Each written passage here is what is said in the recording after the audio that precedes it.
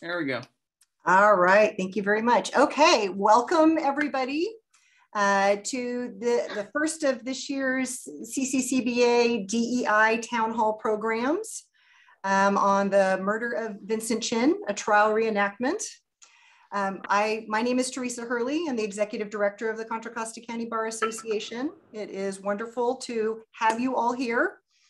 Um, I would like to say a big thank you to our DEI sponsors. They are the ones who are enabling us to put this program on for free to everybody who wants to attend. Um, they have supported us in, in all of our DEI programming this year, so we're very appreciative of them. Uh, I am going to now throw this to Jonathan Lee, who uh, was the, the mastermind behind this program. And uh, he is going to take you through to um, learn a little bit of history before we go into the, the trial reenactment. Jonathan. Thank you, Teresa, and welcome everyone to this very special presentation by the DEI Town Hall Subcommittee of the Contra Costa County Bar Association. Tonight, our emphasis will be the murder of Vincent Chin and the resulting state and federal criminal proceedings that gave rise to a civil rights movement by Asian Americans. We want to start with two quick notes before we turn to those events. First, um, our committee notes that the term Asian American encompasses a rich mosaic of different histories and cultural heritages among those who self-identify by that term. Uh, recently, the Census Bureau published updated statistics showing that 25 million Americans identify as Asian American. Among these, the largest groups in number were in order Chinese American, Asian Indian American, Filipino American, Vietnamese American, Korean American, and Japanese American. And there were uh, at least two dozen other groups listed in the statistics, which we will make available to you for your interest. A full discussion of the experiences of each of these aspects of the Asian American experience uh, is beyond our scope tonight. So that's number one but we want to acknowledge it as we are celebrating Asian American Pacific Islander heritage this month. Second, we want to tell the story of what happened to Vincent Chin, but we also want to set it in a broader historical context, as we have done with other historical programs, such as last fall's Port Chicago program. Uh, we do this to help all of us gain a more complete understanding of our nation's history and this also helps us to understand current events as well. So to trace the historical roots of anti-Asian violence in this country, we go back to the mid 19th century. This was a time when uh, Western aggression brought the uh, opium trade to China, uh, which caused a lot of internal strife and social disruption. Uh, the United States was not a belligerent uh, in the opium wars, that took place in the mid, mid 1800s. But we were an active trader of opium, uh, even in defiance of Chinese laws prohibiting it. Uh, unsurprisingly, this highly addictive narcotic uh, wreaked havoc on China, making living conditions in parts of the country unbearable. And some Chinese sought economic opportunities elsewhere, including on the Pacific coast of North America. Also during the 1840s, uh, the Pacific coast of the United States was experiencing an economic boom with the discovery of gold in California and the annexation of California, as well as uh, most of Nevada, Utah, Arizona, and New Mexico at the end of the Mexican War. The expansion of the United States and the discovery of gold led to a population explosion in the West, with the need for people to work as laborers in farming, mining, and on infrastructure projects the number of people of Asian descent in the United States grew exponentially during this period. As you can see from the slide on the screen, uh, the estimated number of Asian residents in the United States in 1840 was four. 10 years later, it had grown uh, a thousandfold, and then 10 years later grew, and you can see there at 40,000, and then grew to 65,000 in 1870. One of the infrastructure projects uh, that uh, you've probably heard about was the construction of the Transcontinental Railroad. Uh, it is estimated that ethnic Chinese made up 80% of the workforce on the western side of that project, which was very difficult and dangerous work indeed. Hostility towards Asian Americans in the Pacific United States. Uh, during this time, we're talking primarily about immigrants from China.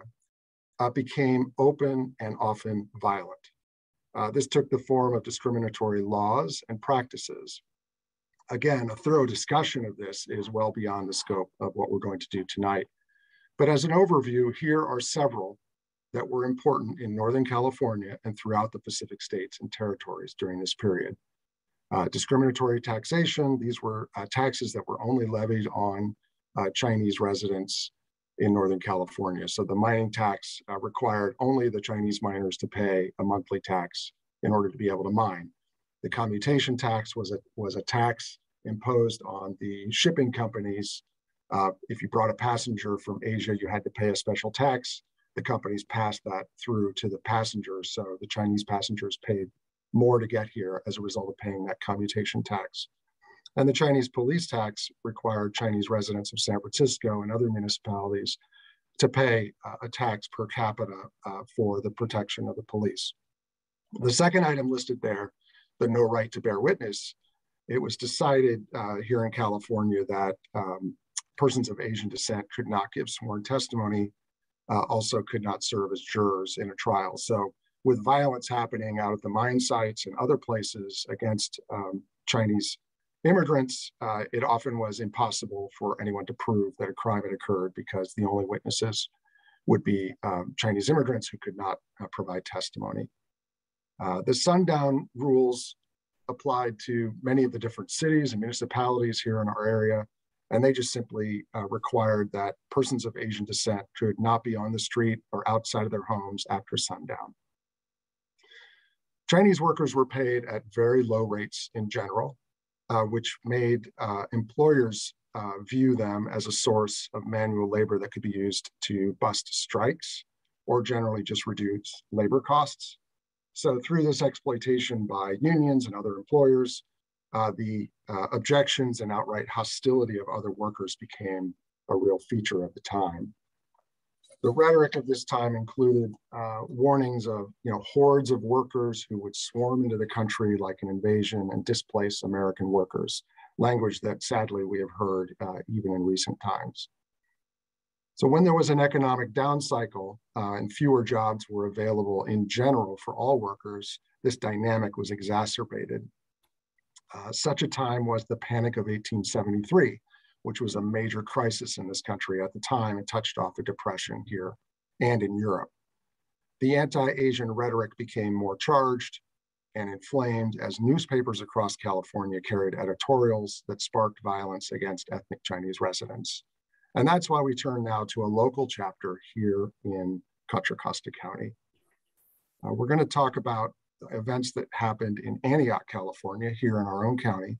And what you see now is a map uh, showing uh, Antioch in the 1870s. And the area traced in yellow is where the Chinatown was located at that particular point in time. In 1876, a mob of Caucasians expelled all the Chinese residents of Antioch. For the preceding 25 years, Antioch was a so-called sundown town in which Chinese residents were barred from walking city streets after sunset.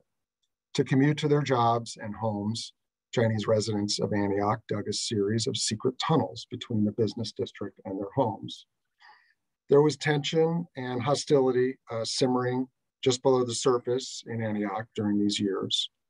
And an excuse for ridding Antioch of the Chinese came on April the 29th, 1876, when the town's doctor disclosed publicly that a handful of young Caucasian men he treated had contracted venereal disease. Uh, the uh, local populace uh, blamed the Chinese women who lived in the town, and a mob quickly formed, and talks of murdering the women came up. Uh, it was uh, a mob descended on Chinatown, telling the occupants that they had to leave by 3 p.m. that afternoon. So, young and old, healthy or otherwise, uh, the Chinese residents of Antioch had only hours to pack up and leave. And they the newspaper articles described that they went to the local dock for ferries uh, with all the belongings that they could carry as soon as they could get there, and ferries uh, left for either San Francisco or Stockton. The following day, a Sunday, uh, rumors circulated that some of the Chinese residents had returned to Chinatown, and by 8 p.m. that night, uh, the Antioch Chinatown was ablaze. On May the 2nd, 1876, the Sac Sacramento Bee described these events as follows. You can see there's the actual uh, print from the newspaper. And I'll just quote it for you in case you can't see it.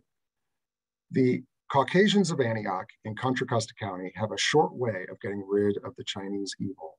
Medical men discovered that the Chinese were propagating disease. In a day or two after that discovery, all that remained of Chinatown was a heap of ashes. Antioch now has no Chinese or Chinatown. The Caucasian torch lighted the way of the heathen out of the wilderness. The Contra Costa Gazette, a newspaper here in Contra Costa County, had similar reporting. Um, and you can see here, uh, I'll just give you these three excerpts just to make sure in case you can't see the text for some reason. This is a longer article, but three excerpts. The first one says 35 or 40 citizens proceeded to the Chinese dens and notified them to leave town before three o'clock or trouble would ensue. And then later it says, among those who left by riverboat was one woman who was nearly gone with disease. The boss Chinaman was sent with them, but much against his will. And then later in the article, it says, by the next night, Chinatown was on fire. All but two of the buildings were destroyed. The inmates fleeing, terror stricken, Antioch is now free of this disreputable class. So the incident in Antioch is just one among many, unfortunately, uh, during a period that became known as the driving out. Mob violence against Chinese immigrants occurred all across the West and all across California in particular. In uh, 1871 in Los Angeles, a mob looted Chinatown after the shooting of a white man by a Chinese man, and the mob lynched 19 Chinese residents. In 1877 in San Francisco, unemployed uh, white workers gathered for a meeting and began attacking Chinese immigrants. They killed four of them in three days of rioting, blaming them for economic woes. In other parts of the West, uh, for example, in 1885 in Rock Springs, Wyoming, 28 uh, Chinese miners were killed. In Tacoma, Washington, all of the residents were expelled. Uh, in Eureka and Humboldt County, uh, Chinese residents were expelled after the shooting of a Eureka councilman and the list goes on and on. There were um, expulsions, lootings, arsons uh, that razed Chinatowns to the ground all across California in the 1880s in Arroyo Grande, Marysville, Merced, Pasadena, Redding, Red Bluff, Riverside, Truckee, Tulare, Chico, Fresno, San Jose, Fresno again, Riverside, and Redlands. And there are more. And on the screen before you and in the materials that we're going to make available, there's actually an online and interactive map where you can go and put your cursor over any one of those blue dots that you see, and you'll get a description of what happened there. And you can see there are many, many dots in California, but they're spread across the entire West. So in 1879, California passed a constitution that included Article 19. It was titled Chinese. Uh, the constitution of this state prohibited the employment of Chinese people by state and local governments, as well as by businesses, which were incorporated in California. It also delegated to uh, the power to remove Chinese people to the local governments of California. This was not repealed until the early 1950s. There were several pieces of federal legislation during this period that limited immigration of persons of Asian descent, culminating in the Chinese Exclusion Act in 1882, which was passed into law almost exactly 100 years before the murder of Vincent Chin. The Chinese Exclusion Act prohibited Chinese immigration into this country for 10 years. Uh, the act came before the Supreme Court in three cases in the 1880s called the Chinese Exclusion Act cases, and it was upheld as constitutional, which established something called the plenary power doctrine providing that the executive and legislative branch have near total power to regulate immigration, including in a manner that would be considered discriminatory if the same rule applied against a US citizen, and the judicial branch has limited oversight. But we still live with the plenary power doctrine today. The act itself was later extended uh, to 1902 when it was made permanent. And it was not until 1943 with the Magnuson Act that it was repealed and uh, a new system was allowed for the limited uh, immigration of Chinese into this country a quota set at approximately 105 as of 1943. That limit was raised in 1952 and then was abolished in 1965 by the Immigration and Naturalization Act, including the quotas that applied to other persons of. It's important to our story to understand that the immigration, excuse me, the Exclusion Act of 1882 and these other federal legislative enactments we've been discussing that restricted immigration were greeted with mass celebrations in this country. In the 20th century, California continued to pass laws that discriminated against persons of Asian descent, and here are a few of those. The Alien Land Law of 1913 uh, prohibited Asian immigrants from land ownership. Uh, that was amended in 1920 and 23 to prohibit the leasing or ownership of land by American born children of Asian immigrants or by corporations controlled by Asian immigrants. And anti miscegenation laws, or laws that prohibited the intermarriage of people of different races, first passed in this state in 1850, were amended in 1905 to explicitly cover persons of Asian descent. That uh, particular law was not uh, repealed by the legislature, but was stricken down uh, in a court case in 1948.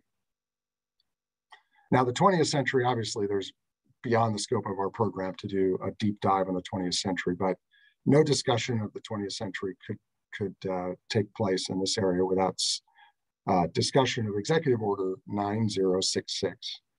President Roosevelt signed this executive order in February 1942. And in the following six months, over 100,000 men, women, and children of Japanese ancestry were moved to assembly centers and then confined in isolated and guarded internment camps.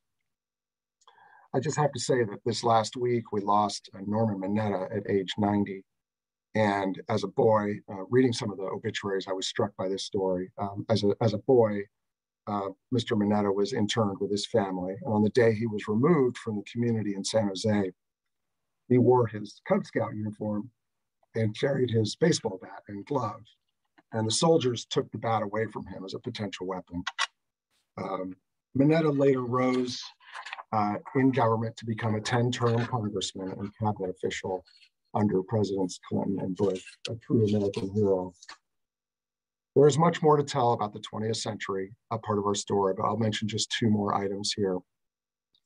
There's a there's a consistent thread of discrimination against Chinese American scientists uh, through the Cold War years and beyond, most recently the case of Wen Ho Lee, which resulted in a, a, federal judge explaining that the highest levels of our government should be issuing an apology. And of course, the death of the murder of Vincent Chin in 1982, uh, which sparked the civil rights movement, as you'll hear more about later. And in the first quarter of this, the 21st century, uh, these threads of history have continued. I did want to mention that the city of Antioch issued an apology last year and that several other Western cities who experienced similar events issued similar apologies. But at the same time, we have seen a spike in hate crimes against Asian Americans in this country, and we have some statistics to share with you. For the years 2019 to 2020, according to the FBI, and this is the most recent data set from the FBI that's available, there was a 77% increase in hate crimes against Asian Americans. So essentially it doubled from one year to the next, or nearly doubled. According to the Center for the Study of Hate and Extremism at Cal State San Bernardino, uh, in years 2020 to 2021, uh, there was a 342% increase in hate crimes against Asian Americans. Uh, part of it is the, the center, as I understand it, defines hate crime uh, slightly differently than the FBI, but still it is an extreme spike in hate crimes. And the highest uh, amounts of hate crimes occurred in Los Angeles, and second highest was New York City. In summary, the murder of Vincent Chin did not happen in a vacuum or as an isolated uh, one-off kind of tragedy, but rather it is uh, one very sad chapter of a long-running story in our nation's history. It's one that our committee hopes you will contemplate as you go about your daily lives with increased awareness. Before we get to the heart of our program, we do want to say thank you to the Asian American Bar Association of New York uh, for the use of the script tonight and to the jury group uh, for the use of the visuals tonight. So with that, let's turn to the rest of our program now.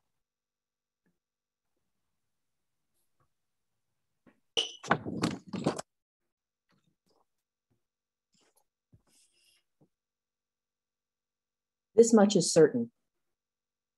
On June 19, 1982, just outside Detroit, Vincent Chin, 27 years old, Chinese ancestry, a working class American citizen, engaged to be married the next week, went out with friends for a bachelor's party. At a strip club, they encountered two men, Ronald Ebens and his stepson, Michael Nitz. There was an altercation. It continued outside. Sometime later, and a few blocks away, Nitz held Chin down as Ebens swung a baseball bat. The bridegroom's head was split open. Blood, spinal fluid, and cerebral matter pooled onto the pavement beneath him as he collapsed into a coma. Chin died four days later. In state court, Ebens and Nitz faced criminal charges. They accepted a plea bargain. At the sentencing, the prosecutors failed to appear. Judge Charles Kaufman imposed on each man three years probation, a $3,000 fine, and court costs. Everything else is disputed. There would be two federal criminal trials, a protest movement, and more publicity than had ever been devoted to any incident involving an Asian American. Yet the context, the causes, the consequences of the Vincent Chin case all have been the subject of great controversy. Although the Vincent Chin case has ceased to be infamous, for Asian Americans, it has never stopped being iconic. The Vincent Chin case is very much a part of our legacy as Asian Americans. Today, we will explore that legacy by reenacting portions of the court proceedings for you, drawing from the transcripts and court decisions. The words you will hear are the actual words with minor editing for length. You will hear the use of explicit language as part of the reenactment, and these are the actual words used in the court proceedings. We begin with the sentencing in Wayne County Circuit Court on March 16, 1983. Ebens and Nitz were charged with second degree murder, but the prosecutors offered a plea bargain to manslaughter. Both men accepted, with Ebens pleading guilty and Nitz no contest. At sentencing, both men were represented by counsel. As was common at the time, because of the high volume of cases and lack of resources in Wayne County, no prosecutor appeared nor were the victim's family and friends notified. Defense lawyer Bruce Saperstein spoke on behalf of Ebens and argued that Chin was the instigator.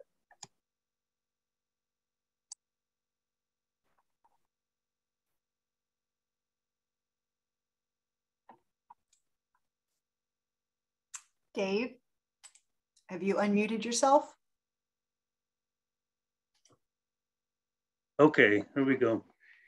Uh, Your Honor, but for the physical assault by the victim in this case, the victim initiating the physical assault, this crime would never have been committed.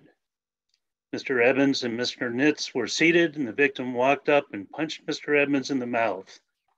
During the scuffle, Mr. Nitz had his head cut open, was bleeding profusely, and in fact required stitches. Either side, Your Honor, could have been the victim in this case. They could have changed places in this particular case. I think, Your Honor, would agree in looking at the background, and the background of Mr. Ebens is impeccable, that Mr. Ebens is not a, a heinous criminal. I don't believe that rehabilitation is even in order in this case. I'm confident this would never have happened and would never happen again. And God knows that these gentlemen would like to see this man back, but we can't change what happened here. With respect to punishment, Your Honor, Mr. Ebens is being punished every day of his life over this incident. He can't change that. He has to live with that. His work background is excellent 17 years at Chrysler. Mr. Ebens, uh, do you wish to say anything? Only that I'm deeply sorry about what happened. If if there is any way I could change it, I sure would. I was looking to see if there was any background on the victim. Do you have any background on him? Did the victim have a criminal record? I don't have any background on him either way, Your Honor. It is the judgment of this court that each of the defendants be placed on probation for a period of three years. In addition, I will require, I will require that each of you pay $260 a year costs at a rate of $25 per month. That each of you pay an additional fine in the amount of $3,000 at a rate of $100 per month. I will leave the question of restitution to civil proceedings.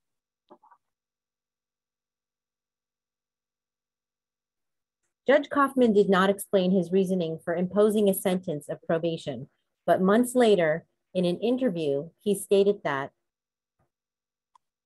these weren't the kind of men you send to jail. You don't make the punishment fit the crime, you make the punishment fit the criminal. Traditionally, Asian Americans had believed that they should not make waves, and Asian Americans had always been reluctant to discuss race. Most Asian Americans did not know the language of civil rights, and in the early 1980s, the subject of race was largely black and white. The Asian American community, however, was galvanized by the notion that a Chinese American could be beaten to death because of his race, with his killers sentenced only to probation and a fine. The two men were white auto workers in Detroit one was out of work at a time when the US auto industry was under tremendous pressure from Japanese imports. Detroit in 1982 was perhaps the hardest place in America to be Asian American. You were the face of the enemy. Anti Japanese sentiment was at its height.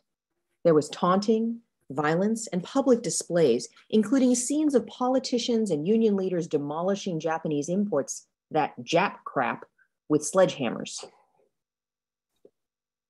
It was against this setting that Asian Americans found cause to speak up. For the first time, Asian Americans crossed ethnic and socioeconomic lines to join together to seek justice for Vincent Chin. Led by, among others, attorney Liza Chan, journalist Helen Zia, and Vincent's mother, Lily Chin, a number of Asian Americans formed American Citizens for Justice. Their efforts to publicize the case were remarkably successful. The extensive publicity was virtually unanimous in its criticism of the sentence, the judge, the prosecutors, and the two defendants. The case was described as an outrage, the product of racism. In June 1983, Liza Chan, Lily Chin, and others met with the Justice Department in Washington, D.C. to urge the government to bring federal criminal civil rights charges against Ebens and Nitz. Because of ACJ's efforts, the Justice Department received thousands of letters and signatures on petitions urging it to prosecute Ebens and Nitz. In November 1983, a federal grand jury in Detroit indicted Ebens and Nitz for interfering with Chin's right to use and enjoy a place of public accommodation, the Fancy Pants Lounge, on account of his race and conspiracy to do the same. The case was assigned to Judge Anna Diggs Taylor, one of the first African American women to be appointed to any federal court in the country. The case was extensively litigated with numerous pretrial motions, including a motion to dismiss the indictments on the grounds the federal civil rights law in question applied only to Blacks and that Orientals, who were considered by many to be white, were not protected. There was also a motion to change venue because of the adverse pretrial publicity. Both motions were denied. Trial commenced on June 5, 1984.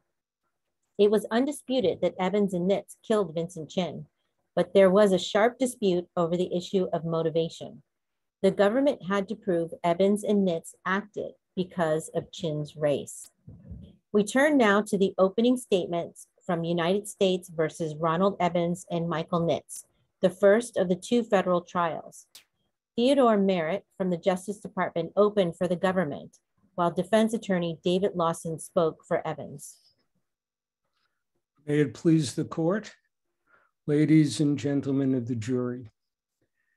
The evidence will show that on June 19th, 1982, a brutal crime was committed on the streets in Highland Park. On that night, the defendant, Ronald Ebens, helped by his co defendant Michael Nitz, repeatedly beat with a baseball bat a Chinese American citizen of the United States by the name of Vincent Chin. And they beat him so bad that he died four days later from massive head injuries. And the evidence will prove that Vincent Chin died at the hands of these defendants because he was a Chinese American and because he was enjoying the entertainment of a public bar. The evidence will show that this fatal assault was preceded an hour or so earlier by a confrontation at the bar between Vincent Chin and the, the defendants. The confrontation was caused by Ronald Ebens' barrage of obscenities, baiting, and racial insults directed at Vincent Chin. What happened in Highland Park that night was a story of ugly racism which turned violent. Now, the burden is on the government to prove not only that Ronald Ebens and Michael Nitz were responsible for the death of Vincent Chin, but to show that they killed Vincent Chin because of his race and with the intent to deny his right to use the Fancy Pants Lounge. Now, we do not believe that the evidence will prove beyond a reasonable doubt that Mr. Ebens acted because of Vincent's race. We believe the evidence will show that this was not a civil rights case, but a fight between angry and intoxicated men that ended in the death of one of them. Lawson gave Ebens' version of the altercation. He also attacked the government's witnesses and suggested the issue of race was a fabrication. The witnesses will tell you that Ebens was in an outrage and he began swinging the bat at Vincent Chin. The bat struck Mr. Chin several times, including the head, the neck, and other parts of his body. Mr. Chin fell in the street with a mortal wound to his head, and he died four days later. As a result, Ronald Ebens was charged with murder. He pleaded guilty in the Wayne County Circuit Court to manslaughter. Then something happens in that court on March 16, 1983, which set off a chain of events which has resulted in this trial today. And that was that Ron Ebens got probation for killing Vincent Chin. Naturally, such a sentence in a case such as this upset and enraged Mr. Chin's family and friends, and also members of the community and you will hear evidence that after the sentence of probation, Mr. Chin's friends and others met and tried to come up with some evidence that would turn this homicide into a federal matter. We expect that the government will try every opportunity to inject some evidence of racial sayings or racial acts into the case.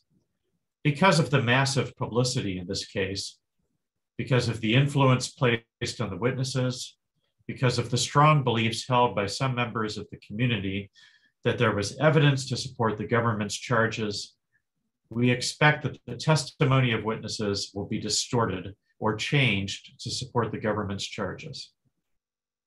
One of the most important witnesses was Racine Caldwell, one of the dancers at the Fancy Pants Lounge. As one of the jurors revealed in a post trial interview, Caldwell was seen as a neutral witness who had no reason to lie. Her testimony was critical on the issue of motivation. Where are you employed, Ms. Caldwell? Fancy pants. Now, Ms. Caldwell, let me ask you to direct your attention to the night of June 19th, 1982. Were you working at the Fancy Pants? Yes, I was. And did you see Vincent Chin in the Fancy Pants that night? That evening, yes. And, and what was his mood when you saw him? He was laughing and joking. Uh, now, um, did you dance that night? Yes, I did. And did you see Vincent and his friends while you were dancing? Yes, I did.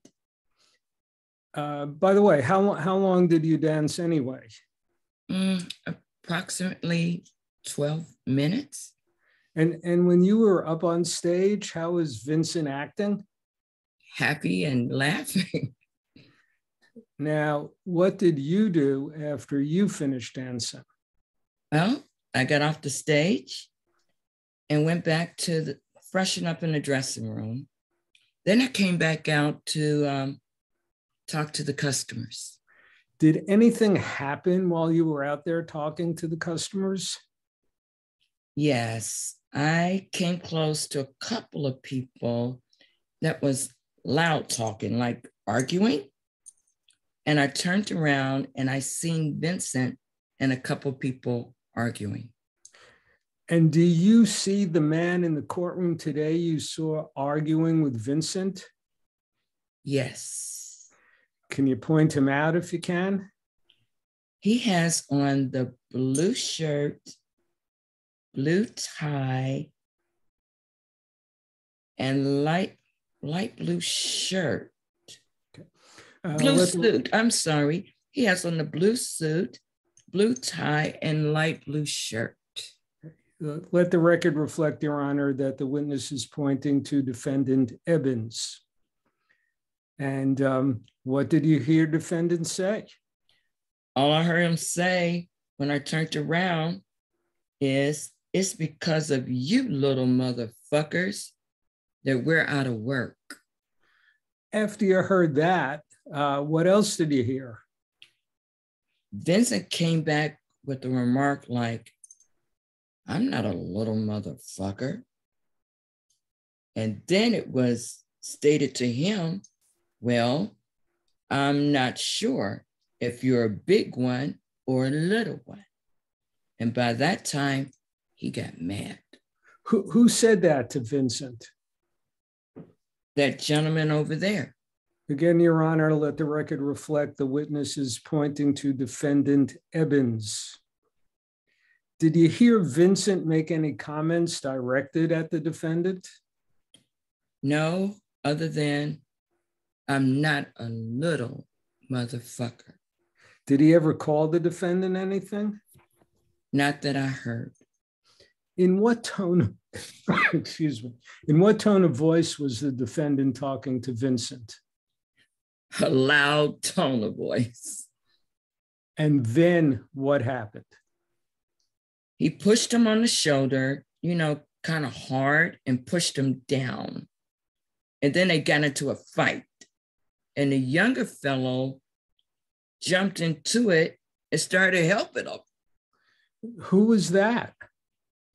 That's that gentleman that started helping the older man when he started hitting Vince. And did you subsequently learn his name? Yes, Michael Nitz. David Lawson cross-examined for Mr. Ebens. Now, Mr. Ebens was speaking in a loud tone of voice. Like an argument, like if I was arguing with somebody, like if I was arguing with somebody. Was he shouting? Yes, I could hear him over the music. Now, when he was shouting, what did you hear him shout? Because of you, little motherfucker, we're out of work. And then Vincent responded, I'm not a little Okay. Now, when you were making the rounds and talking to customers, is that part of the business also? Yes. And were you soliciting customers? No, I was not. Well, were you asking them if they wanted a lap dance? No. Vincent was a friend of yours? A customer. Not like a personal friend, no. But you liked him. Yes. You liked to see him come in. Yes. Another important witness was Jimmy Choi. He and two other of Vincent's friends, Gary Koivu and Bob Sorosky, were celebrating with Vincent that night. On direct examination, Choi described the events leading up to the bachelor party and then testified about the encounter with Ebens and Nitz. Mr. Choi, how loud was the music on the stage? It was not blasting like, but it was just the volume was normal. So you could carry on a conversation with the person next to you? Yes, Gary. And, and what about the people who were across the stage from you? Could you hear what they were saying in the conversation? No, I didn't pay too much attention at first. Then after a while, I heard a few things. What did you hear and where did that come from? I was in the bar for about mm, 15, 20 minutes. Then I heard someone mention foreign cars from across the stage. I didn't pay too much attention. I just glanced around and resumed talking to Gary.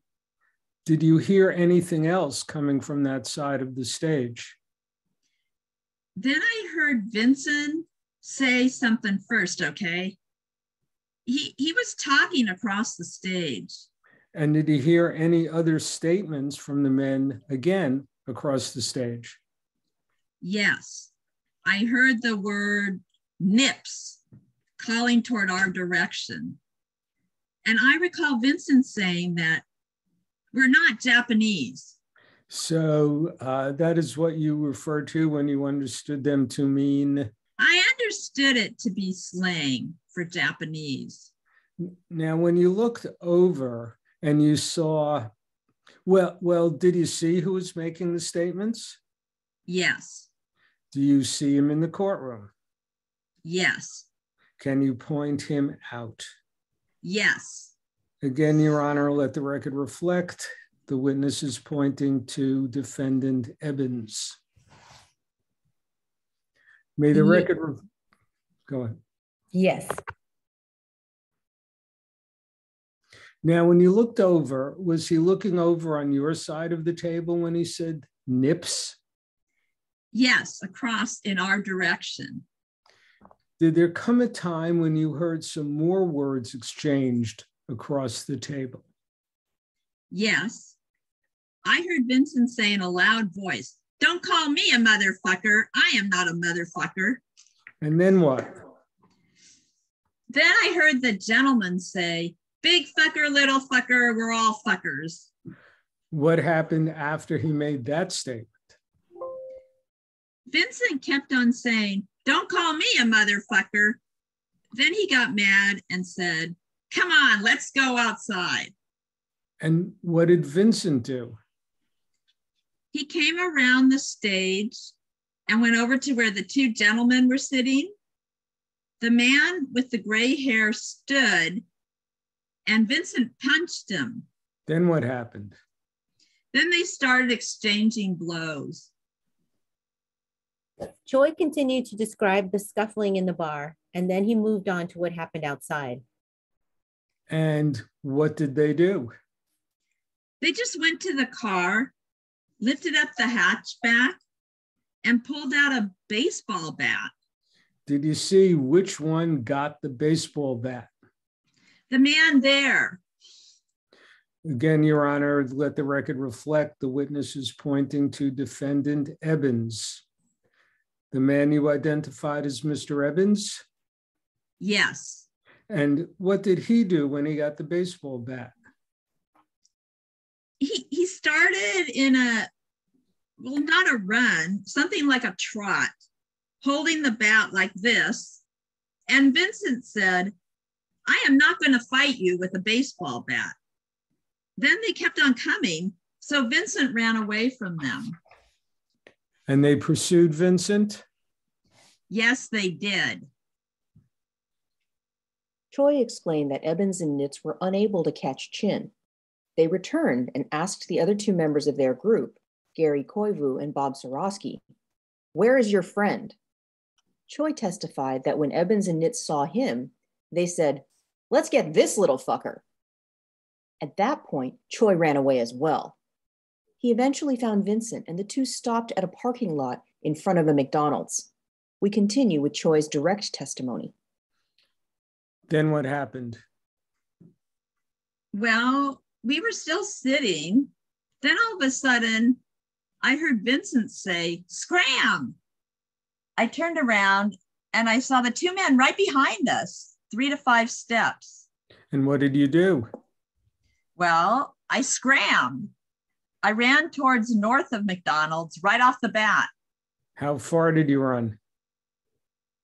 30 yards. Then I turned back. What did you see?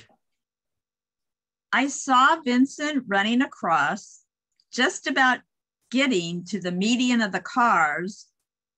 Then the younger man came up and tried to grab him from behind, pull him around. Then they were scuffling, and the older man came with the bat. And what did you see when he approached Vincent with the bat? He approached. Vincent was still trying to get away from him. And then the older man, he could not run too fast.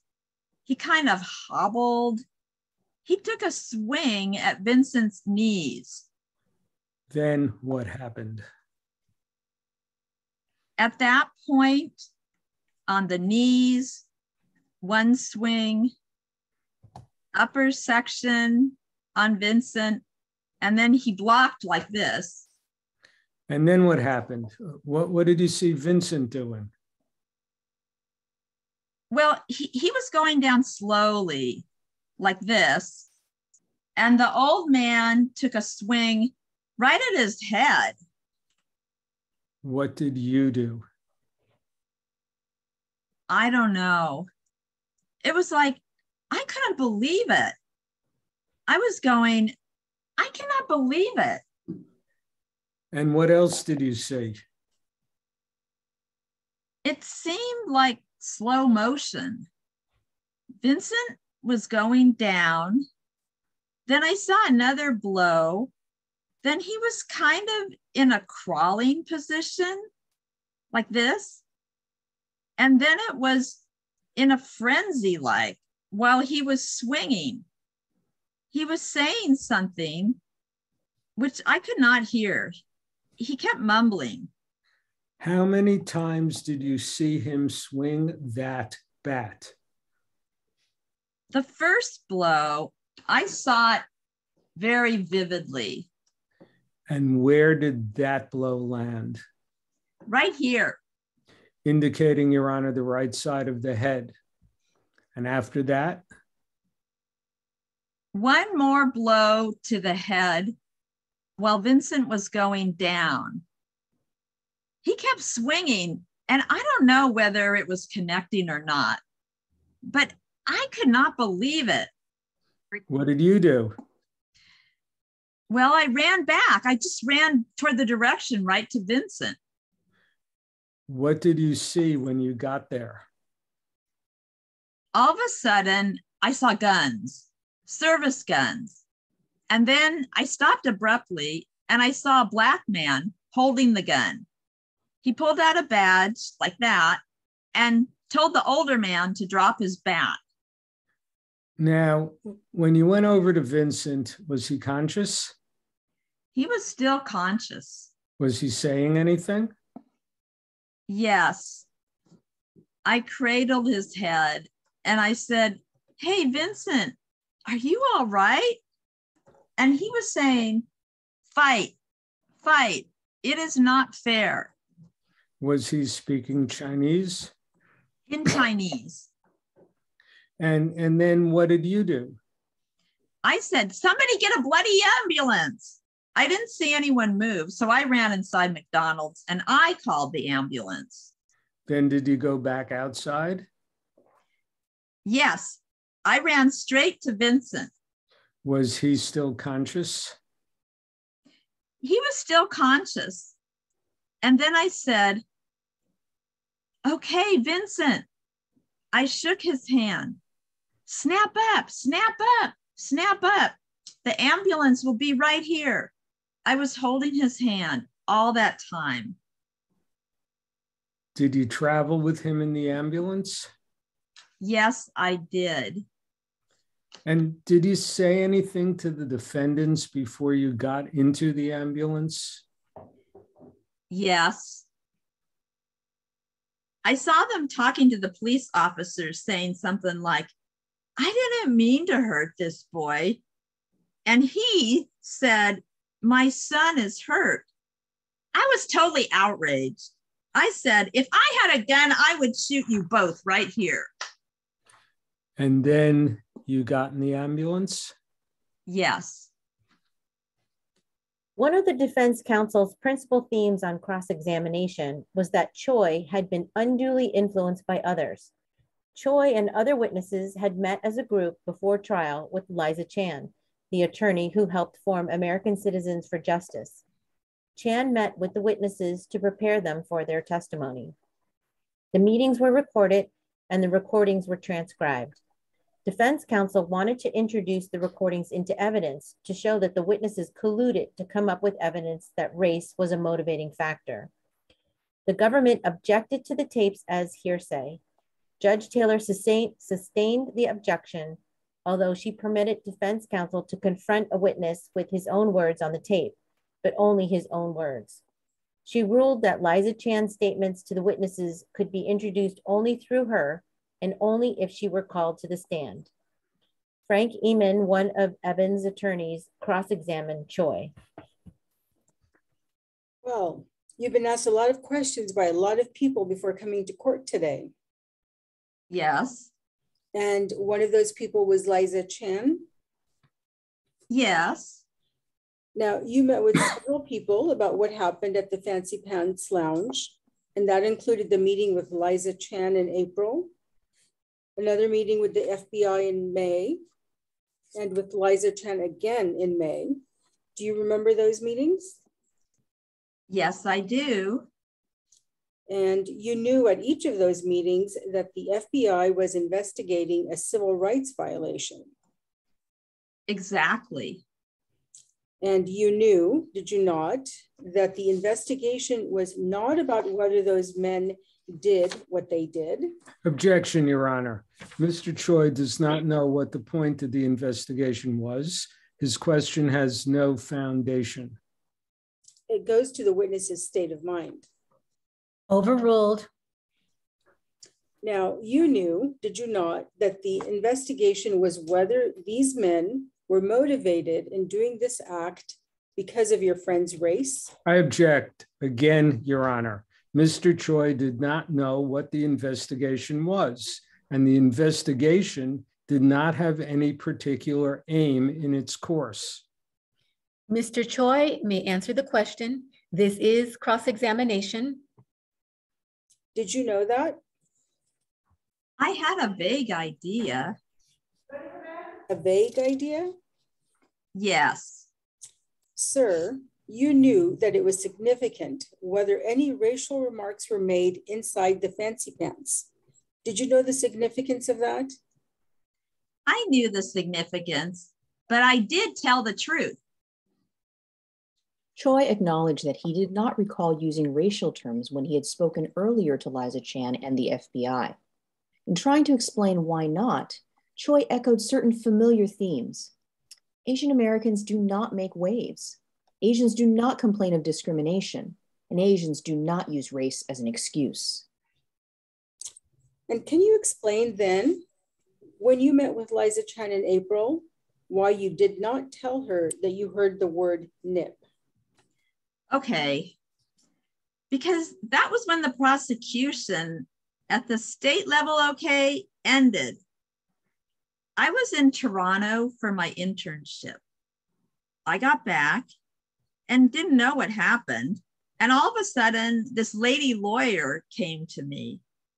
I was not prepared, not as much as I wanted to be.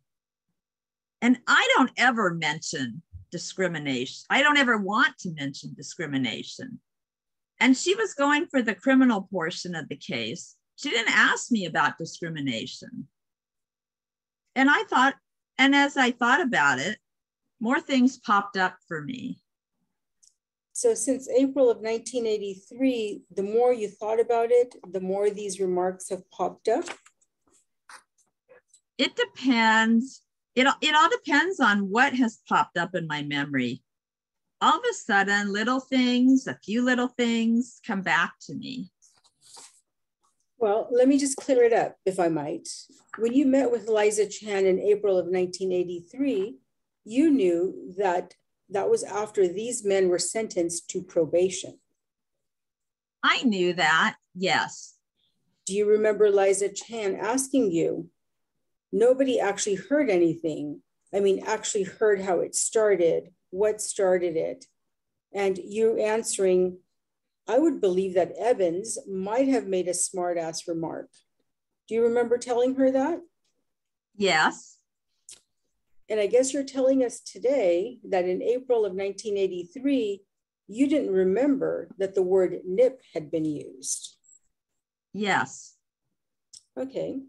Do you remember also at that interview in April of 1983 being asked by someone, uh, besides that, did they say anything like Chinaman and things like that? That type of thing, just the four letter word. And you telling them, I had not heard that. I don't think they made any racial remarks. Nothing. Did you tell Liza Chan that? Yes, I did. And now, when you met with the FBI agent in May, you didn't remember yet that the word NIP had been used. No. Mr. Choi, am I correct that the first time you mentioned the use of the word NIP was before the grand jury? Yes. And at these meetings that you had with other witnesses, do you remember with Gary Koivu and Bob Sorosky? Well, we had a meeting. Yes, we did.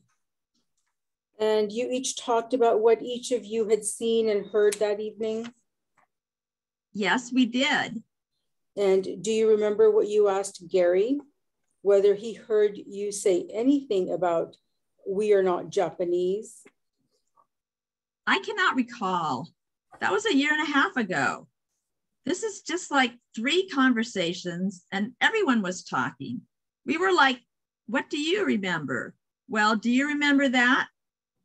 That is the extent of the meeting. Now, some people didn't remember some things.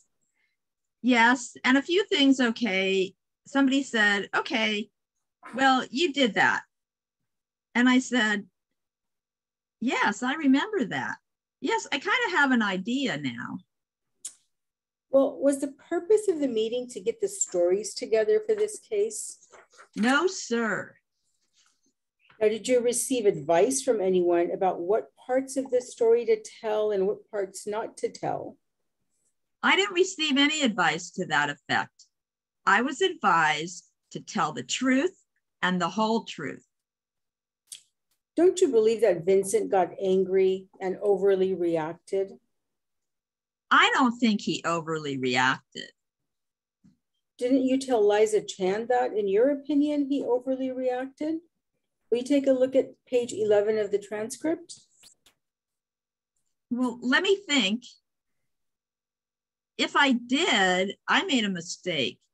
He did not overly react. He tried to ignore any racial remarks. We tried. Uh, I'm referring right here to your transcript. Oh, did I say that? You do recall saying that then? I read it, yes.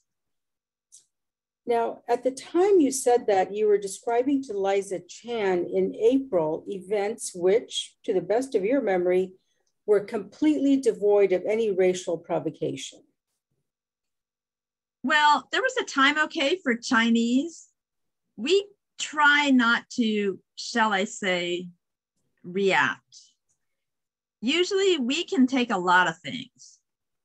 There was a time when I just asked basically in the bar, how did he grab him? How did he swing the bat? And she was not really looking for racial remarks. If you go there, that it was not a very good place to go in the first place. I didn't want to do anything. Plus, I tried to shun all the racial things away from me. I had a few experiences, mostly when I deal with my classmates at school, but a few times when somebody like drives by and just told me, chink, I just tried to brush it aside. After the government rested, the defendants put on a brief defense case. Ebens chose to testify. What happened when you sat down at the bar? Sat down. I I think I got one sip of the glass of beer and this black dancer was dancing. And I remember comments coming from across the stage directed at her and telling her what a crummy dancer she was. Okay. Did you see who was making those comments? I really don't know who was making those comments. Uh, you know they were coming from across the stage, however. Yes. What did you do then? I don't like seeing people picked on for a starter. What did you do? I made a comment to the effect that don't worry about those guys. Show them what a good dancer is. And did you direct those comments at, at anybody in particular? No, just the dancer. Did you say anything else? Not at the time that I remember. When you made those comments, do you recall referring to the people across the stage using the term fucker or motherfucker? I don't remember distinctly. Could you have said that? Yes, like I could have. Uh, do you or have you ever used words like that before? Many times. Is that language unusual to you? No, it isn't. And when you use those words, if you did, was it your intention to insult anyone or provoke anyone? No. What happened next? I remember at this point, the Oriental that was sitting the second from the end saying something to the man on his left, which I couldn't pick up. Okay. And he got up. Okay. At that point, did you notice that he was an Oriental person? I probably did. Do you recall the testimony in this court that Vincent Chin stood up and said, Don't call me a motherfucker? Yes. Do you recall hearing that in the bar that night? Not distinctly, no. Do you recall hearing it at all? No, I don't. Do you recall testimony in court that you stood up and said, big fuckers, little fuckers, we're all fuckers? Do you remember that testimony? Yes. Did you say that? I don't remember saying that, saying it. Could you have said it? Yes, I could have said it. Uh, when you saw the person uh, say something to the other gentleman to his left, what's the next thing that happened after that? I, I really didn't pay much attention to him. I was watching the dancer. He proceeded around, and I guess the next time I was really aware of him was when I turned around and he was standing directly in front of me. What happened then? He punched me. Up to that point, did you call him or anyone else for that matter the word chink? No. Do you recall calling anyone a nip? No. Do you recall saying anything about being out of work or words to that effect? No. Did you say any of those words? No. We move to Ebens's testimony that he and Nitz were driving in their car when they saw Vincent and Jimmy Choi outside a McDonald's. All right, what happened next? And as we drove by, Michael seen him sitting out front on the steps of whatever it was out there and sitting there laughing. And it must have been real funny to them. How did you feel at this point? Angry. Why? Same reason, I guess. Um, the man had sucker punched me and he was responsible for splitting Mike's head open. I was just angry. What did you do? I told Mike to park the car. When you got out of the car, did you have a bat with you? Yes. What did you do then? I ran around to where they were sitting and I hollered at him. And then what did you do? I said, You sons of bitches. Then what did you do? They jumped up and started to run.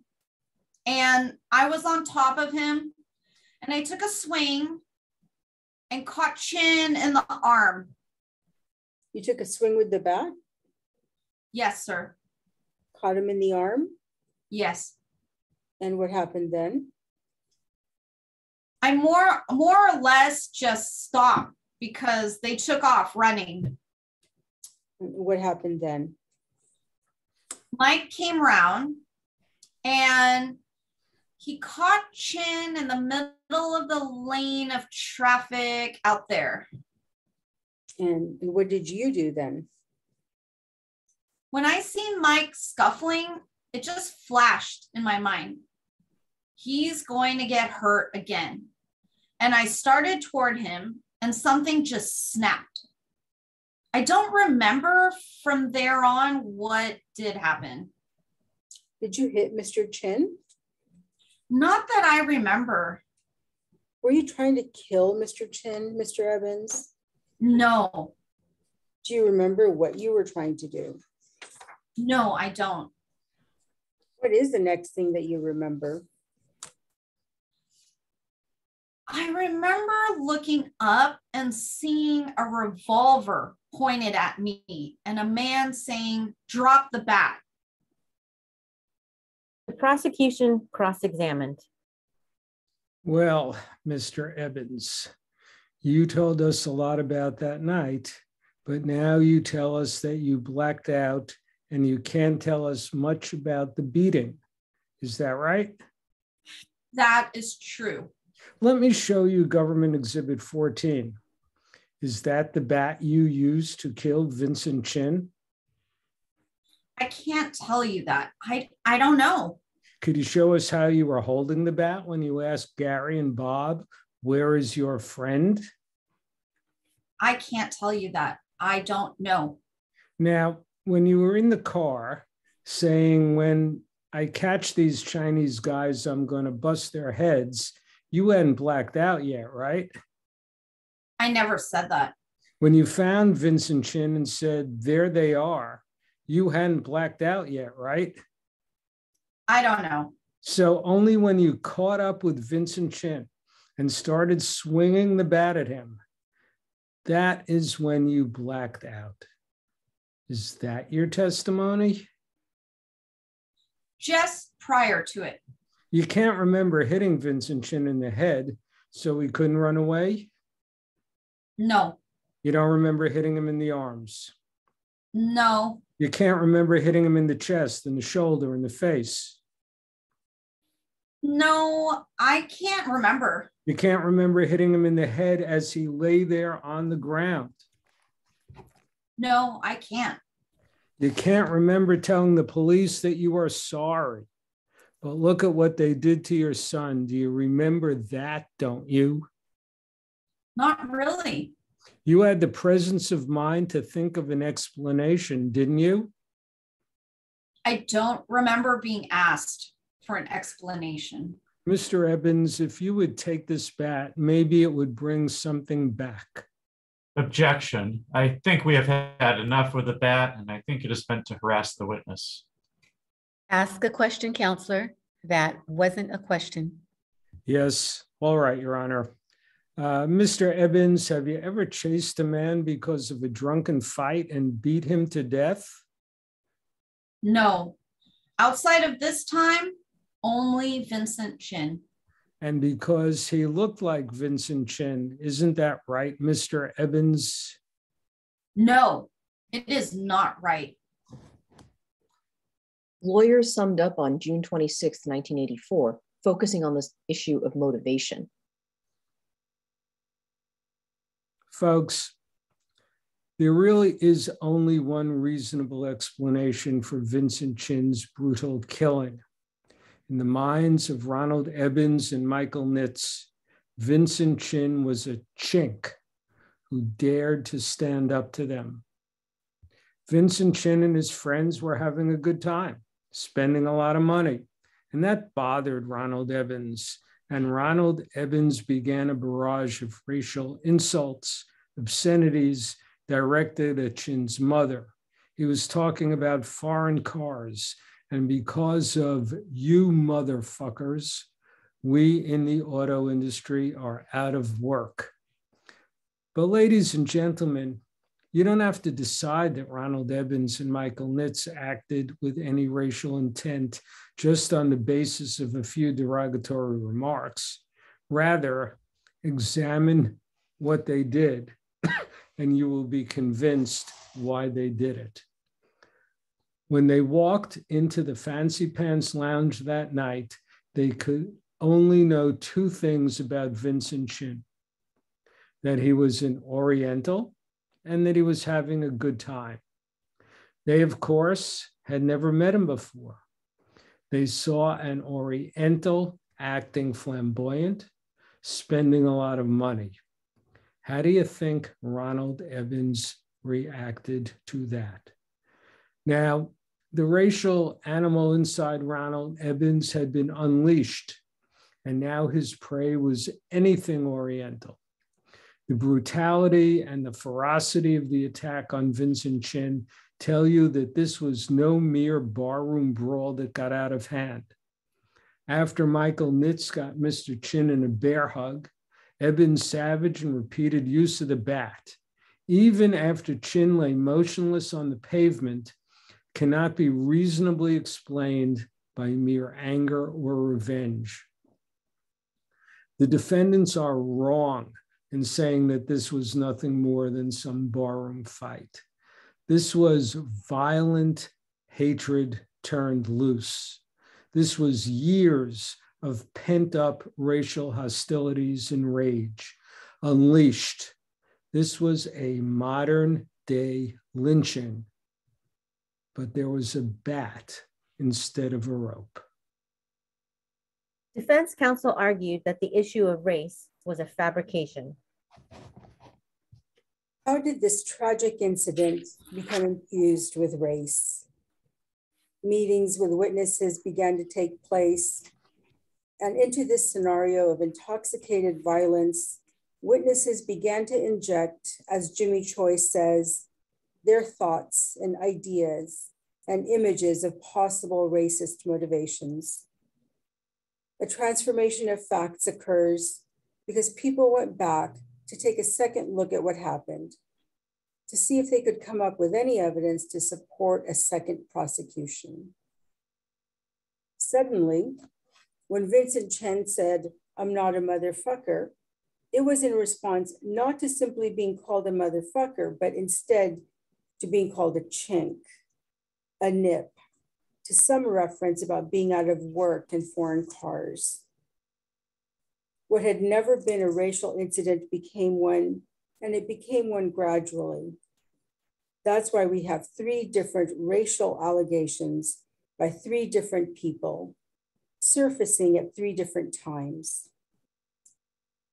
People worked hard with each other and their attorneys searching the dark recesses of their minds to find something, anything that could make this a racial event.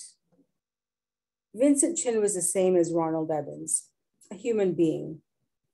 He was not a person who had only great virtues and no faults.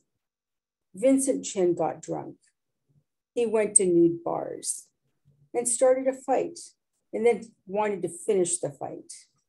And Mr. Ebens, like Vincent Chin, became full of rage, and Mr. Ebens wanted revenge. Vincent Chin wanted to finish the fight. Does this make him a hero or a martyr? None of this happened to Vincent Chin because of his race. On June 28, 1984, the jury returned its verdict. Will the foreman please rise? Mr. Foreman, do you have a unanimous verdict for each of the counts as to each of the two defendants? We have, Your Honor. Will the clerk please read the verdict? In the case of the United States of America versus Ronald Ebens and Michael Nitz, the verdict form reads as follows. We, the jury, find the defendant Michael Nitz not guilty as to count one and not guilty as to count two. We, the jury, find the defendant Ronald Ebens not guilty as to count one and guilty as to count two. The jury thus found Ebens guilty of violating the civil rights of Vincent Chin on account of his race. He was sentenced on September 18, 1984. After hearing from defense counsel, Judge Taylor gave Ebens an opportunity to be heard, and then, without elaboration, she tersely announced her sentence. Mr. Ebens, is there anything you would like to say? Only, Your Honor, I have expressed my regret and remorse on several occasions. And I would just like to reiterate that one more time. I am sorry for what happened. I can't say any more than that. At this point, I have no recourse but to, to depend on the American system of justice and you, Your Honor. Is that all? It is adjudged, Mr. Ebens, that you are committed to the custody of the Attorney General for a term of 25 years. It will be recommended that you be committed to an institution where you may receive treatment for alcohol abuse. Ebens appealed to the United States Court of Appeals for the Sixth Circuit. Circuit Judge Albert J. Engel issued the court's decision on September 11, 1986. The court addressed several issues, including Ebens's argument that the federal civil rights law in question did not extend to quote unquote Orientals. The court rejected this argument, holding that the statute protected any person because of his race, color, religion, or national origin from intimidation or interference in the enjoyment of public accommodations. Citing Yick Wo versus Hopkins, Judge Engel wrote, Orientals come within the broad constitutional protections of the 14th Amendment, even though the original thrust of the amendment was primarily motivated by concern for the rights of Black persons. Judge Engel also rejected the argument that Judge Taylor erred in refusing to transfer the case because of the pretrial publicity. We have carefully reviewed the extensive record made of the publicity in the case and agreed that it was indeed pervasive. The nearly unanimous public judgment that Ebens and his stepson should have received jail terms and the harsh criticism of the state trial judge, followed by the federal prosecution of defendants based upon the same incident, were bound to lead a strong public impression that justice had not been done in the state court and that it was incumbent upon the federal government to right that wrong by a second prosecution.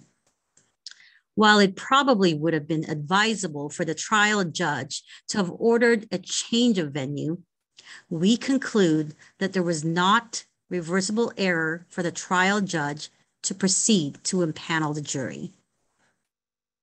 Ultimately, however, the Sixth Circuit held that Ebens was denied a fair trial.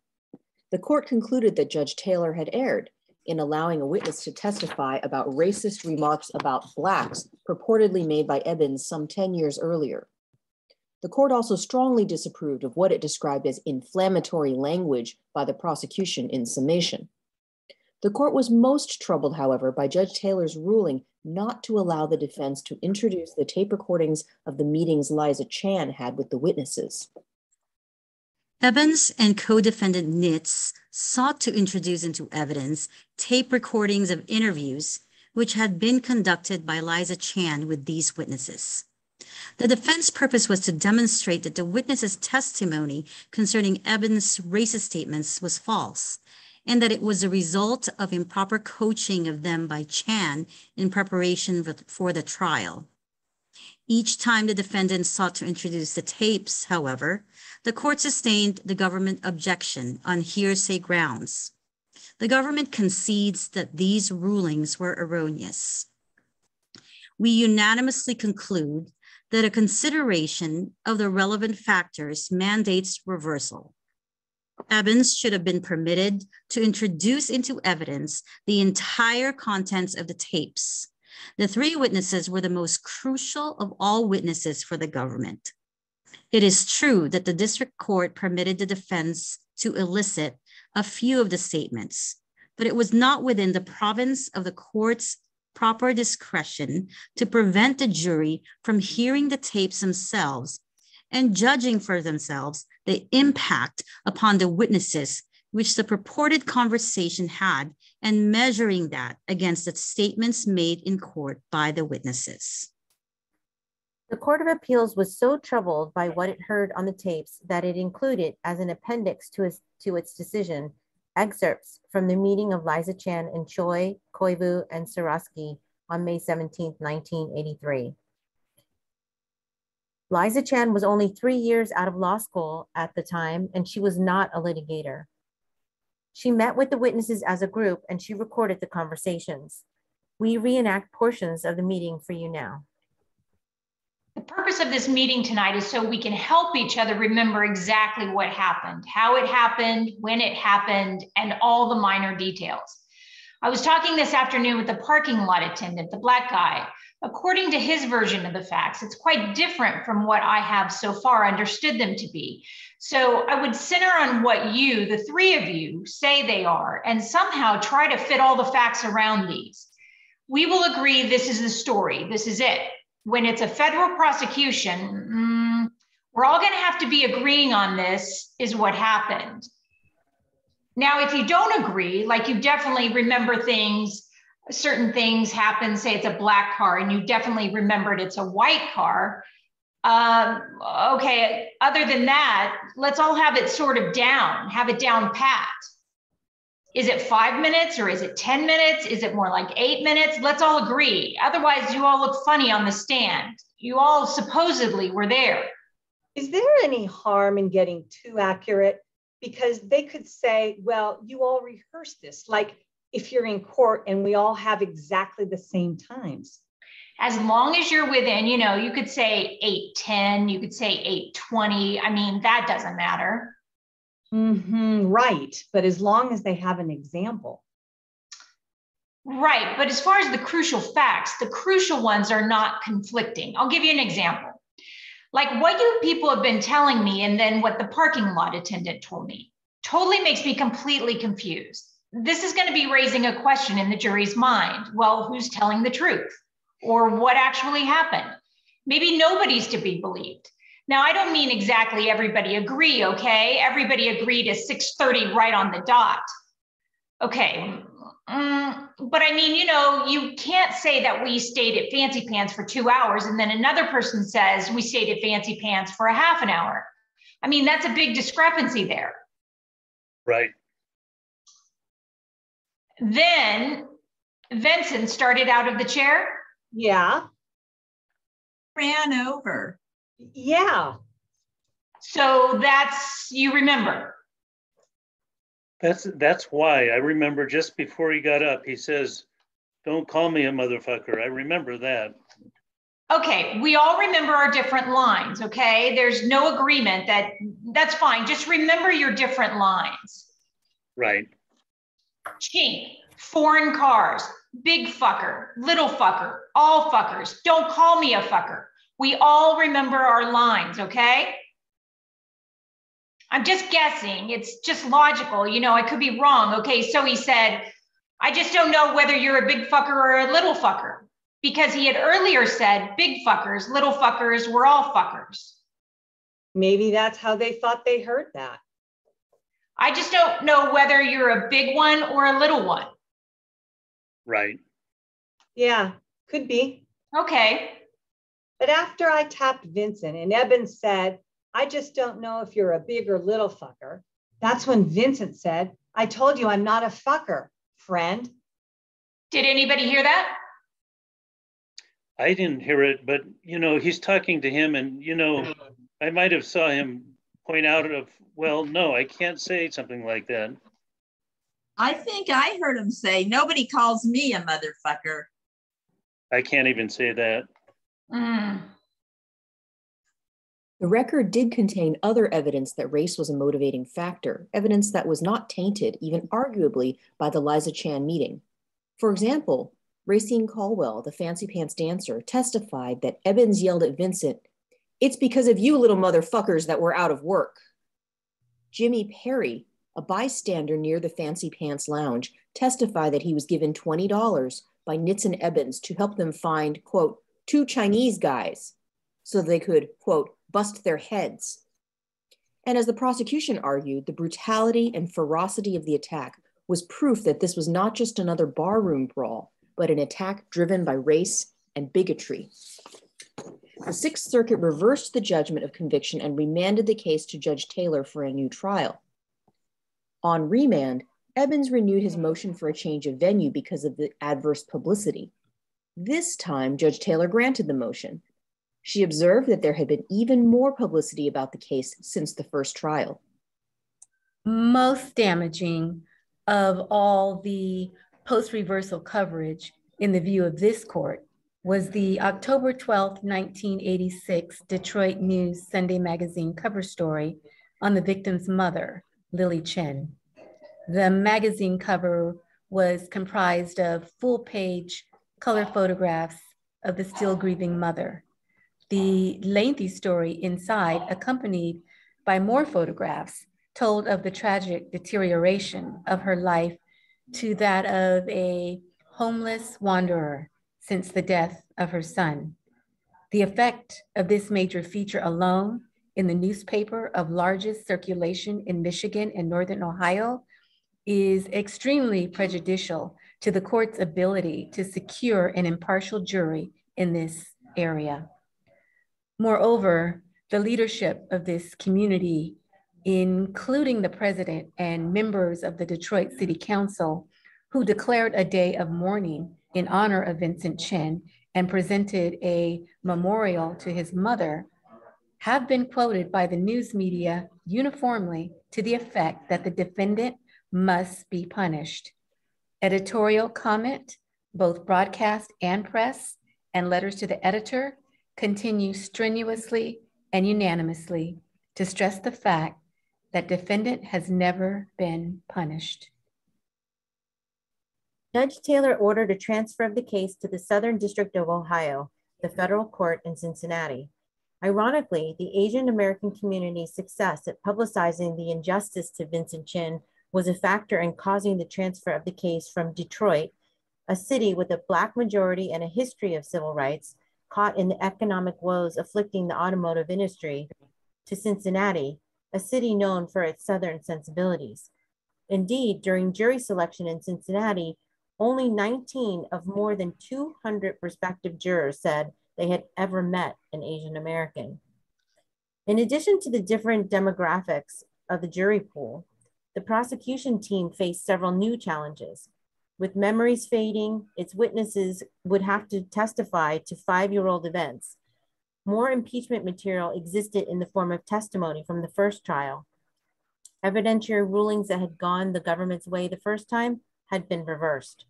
And Ebens, whose selective memory had not impressed the jury when he testified in Detroit, did not take the stand in the second trial. It was no surprise then when on May 1st, 1987, the jury returned a verdict in the Cincinnati courtroom finding Ronald Ebens not guilty of violating Vincent Chin's civil rights. The Cincinnati jury was not convinced beyond a reasonable doubt that Ebens' actions were motivated by Vincent Chin's race. Was race a factor?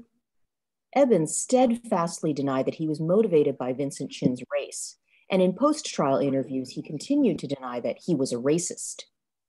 Perhaps Ebens was not a hardcore, overt racist, but racism is more ambiguous, complex, and subtle.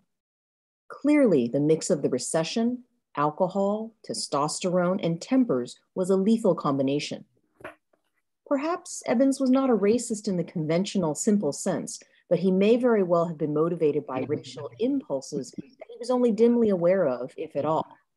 As he put it in trying to explain his actions, something snapped, and the brutality of his actions led to the death of Vincent Chin. What is the legacy of Vincent Chin? Despite the disappointment of many in the final verdict, the Vincent Chin case had a great impact, both on the administration of justice in general and on the Asian American community in particular. The Vincent Chin case sparked a public discourse on the practice of Wayne County prosecutors not to appear for sentencing proceedings. The case showed how important it was for prosecutors to participate in sentencings and for victims and their families to be given notice of court proceedings. In the years following the Vincent Chin case, federal and state laws, including in Michigan, were enacted giving victims greater rights. And in the discussions leading to the passage of hate crime laws, the Chin case was often cited. The Vincent Chin case also highlighted the need for reform in sentencing and plea bargaining. Within a month after Judge Kaufman sentenced Ebens and Nitz to probation, the Wayne County prosecutor announced a ban on manslaughter plea bargains in murder prosecutions. On the federal level, the Sentencing Reform Act was passed in 1984 in an effort to reduce disparities in sentencing. As for Asian Americans, the Sixth Circuit Court of Appeals held that, indeed, Asian Americans were protected by this country's civil rights laws. The murder of Vincent Chin and its aftermath awakened our civil rights consciousness. Asian Americans came together and became a community, one with a voice. For Asian Americans, the death of a man was the birth of a movement. Lily Chin, Vincent's mother, was an inspiration to many. Although she barely spoke English, she led a courageous effort to seek justice for her son. She became so disheartened, however, after the final verdict that in September 1987, she returned to her native village in Guangzhou, Canada. Sorry, China. Guangzhou, China. There, she remained until 2001, when illness forced her back to the United States for medical treatment. Lily Chin died on June 9, 2002, at the age of 82 in Farmington Hills, Michigan. Thank you, everyone, uh, for your kind attention to our presentation. Uh, at this time, uh, we really want to invite um, our audience and our participants for reactions or reflections on not only this reenactment, but uh, some of the historical uh, underpinnings that were presented earlier by Mr. Lee. Um, we would invite you to uh, raise your hands, take your little uh, Zoom reactions button and raise your hand if you'd like to share. Um, and then we can go through and um, perhaps we can ask uh, Mr. Lee to go through and moderate um, uh, any further discussion uh, that we should take in the time that we have remaining. Thanks, everyone. Thank you very much. I do see a hand is raised. I believe it says Gary Koivu, but I think that is Renee Livingston. It is. All I wanted to say, Jonathan, is you know even I learned so much as a presenter in in this um, in reenactment. But this today was the first time that I actually heard the historical events in our own county, and it was so eye-opening and shocking to me. And I just want to thank you for putting that together because you know we're talking about proceedings that happened in a part of the country where most of us didn't grow up but to, to hear about it in our own county was just really uh, enlightening and thank you. Well, you're, you're welcome. Yeah, we've, in these programs, we've tried to uh, have a local focus as part of the program. And often we think of, um, say, civil rights violations as something that happens somewhere else by some other people. And it really is more of a universal um, problem in this country that's uh, happened all over the place. We just may not be aware of, of those events. And the Port Chicago uh, disaster and mutiny trial is another perfect example of that. So you're welcome. And when I went to find the newspaper articles, it was pretty jarring to actually read um, read it in print. Uh, it really was jarring. Does anyone know if the if the last two buildings are still standing in Antioch and whether or not there's any plaque or any kind of information about that there? Uh, there is, um, you can see when you when you Google like Antioch apology, um, you'll see articles that uh, discuss certain areas of the city where there are information boards or small plaques that try to tell the story. There's also down at the waterfront, there's an area where you can see uh, pilings of um, uh, foundations of buildings that once existed. And it's my understanding that those are the former residential areas um, that the the you know Chinese uh, residents were living over the water basically, and that area was razed and burned to the ground, and the the commercial district where the businesses were located is a couple of blocks inland. I, I believe there are some markers down in all, in all of those areas. Thank you. Well, we did have, um, I don't see any others hands raised. We, we had some discussion questions that we uh, wanted to share with you. We're actually going to push this out to you. If you registered, you'll get these. And these are questions that um, we're hoping that you can reflect on uh, even after tonight. And we're also going to share with you a bibliography of some materials. Uh, some of them are um, uh, like there's various websites. The website of the American Citizens for Justice is linked there. Uh, I commend that to you. It's still a very vibrant and active organization. um, there's some different articles. Uh, one article in particular we wanted to bring to your attention, uh, and uh, Dorothy found this, and thank you so much for forwarding it. So this is an article that uh, discusses uh, the work of two documentary filmmakers who went to meet with Liza Chan. And they discussed with her the witness meetings that were so heavily featured in the presentation tonight. And uh, they learned that at different points uh, in the discussion, her accent had been misunderstood and mistranslated. So it was her position that the defense lawyers were using an inaccurate version of what was said in order to impugn the credibility of the witnesses. And so we wondered for the group, what does this additional information about the use and misunderstanding of Chinese language and translation from Chinese language to English tell us about the Vincent Chin episode? Does anyone have any thoughts about that?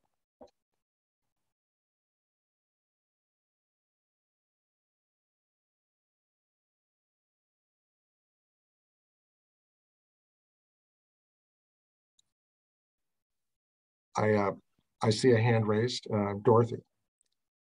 Well, you know, I just I just wanted to mention two aspects of this portion of uh, this analysis that I just found so fascinating.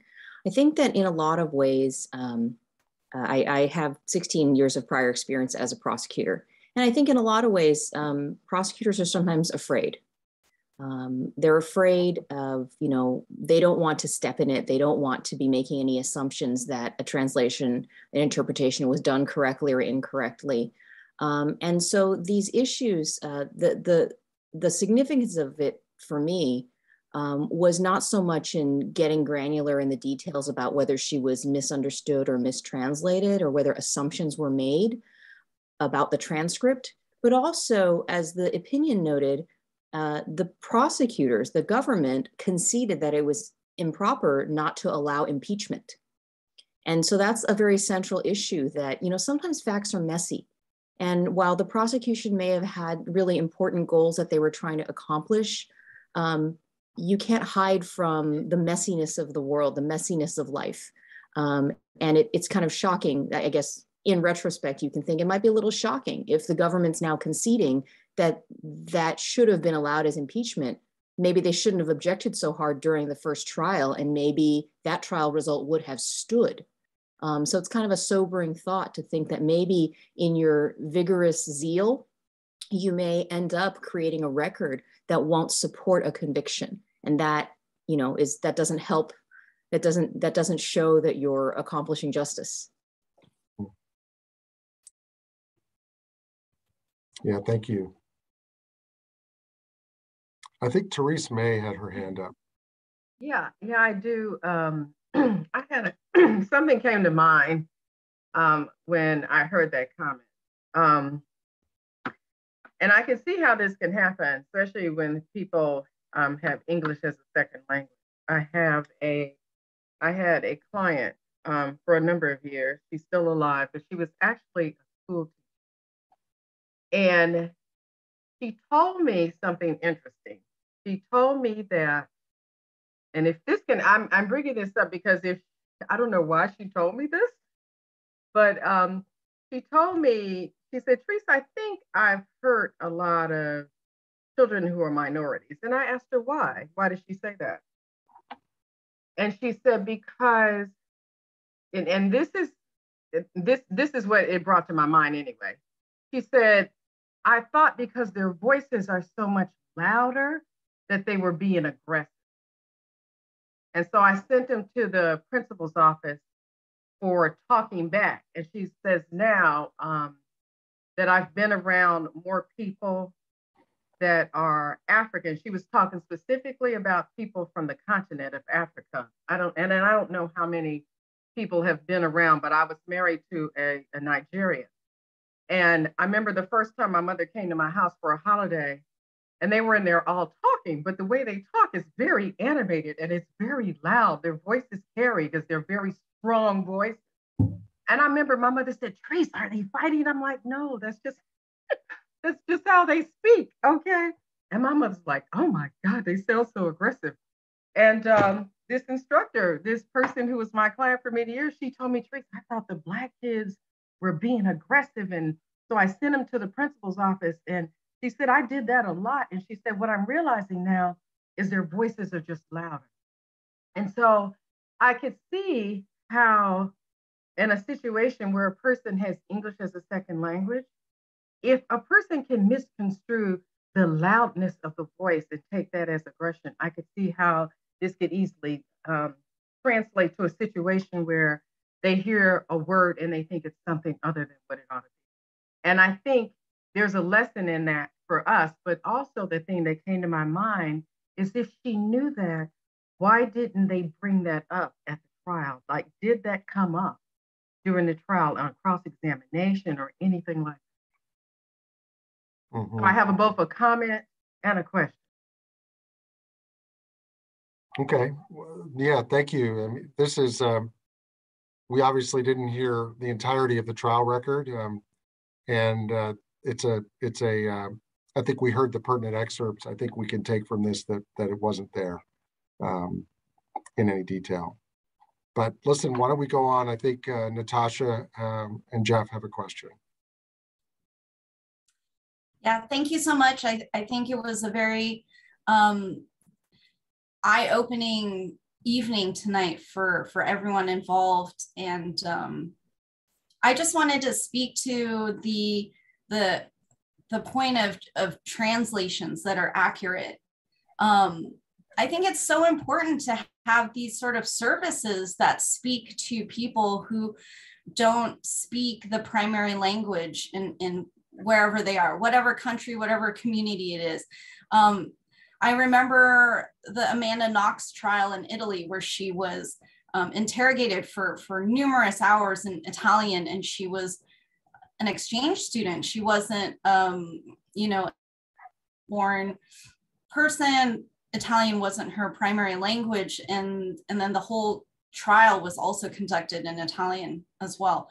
So these language barriers are are, are critical, I think. You know, um, and I I used to be a criminal defense attorney, and I remember I would always request a translator and and ask my client if if that was okay because if there was any language barrier, I could not assist my client properly and i wanted to do the best that i could. So i think having these in courts and having translators and, and you know who are very like good at what they do is critical to to a an equal justice system. So thank you so much. You're welcome. Uh, quick story about that um, in our office um, there was a i heard a story about there was a recent prosecution or investigation of uh, an Asian-based gang, international gang, and there was a point of testimony that was translated. Um, it was key testimony, and uh, there was a government translator and there was a defense translator. The government translator, and it was Cantonese to English. The government translator translated it as an extremely strong statement of culpability. The defense translator translated it as basically the most innocuous, innocent statement ever. And so the solution was the two investigate the two translators were asked to meet and confer and settle on um, the translation. And they settled on the defense translation. And it was a question of the tone that was used changed everything in Cantonese language. So fortunately, they got to the right answer. But it just shows that was just a year or two ago. It just shows how fraught this area is with potential uh, misunderstanding. I would like to say something, please. Can you hear me? Yes. And that is, you know, everything is about tonality. Everything is about the way, it's a, it's a rhythm. It's an energy that we give to each other. It's what we give to babies without babies even seeing our race, our touch, everything that we do to each other as human beings. That is what's important. I mean, with with my company, Barkley, I'm going to promote it. Yes, we do have translators. Yes, we do do this. Yes, we do have a diverse um, staff. The whole point is forget who I work for. Forget all of that. It's the way we walk out of our doors and how we speak to someone and what we're listening to, because we could be um, cited as, as, as being loud, being whatever, and it's and, and and we're not. So it's always, always know what community you're stepping in and always be aware of what your tonality is and how you want it spoken back to you. So, whatever you put out, understand if you stop quietly, they might say, Well, what are you saying? You know, or if you talk loudly, they say, Well, wait a minute. Everything that we do and how we do it, it resonates right back. Think about it. I'm not a dancer, but I was raising tonight.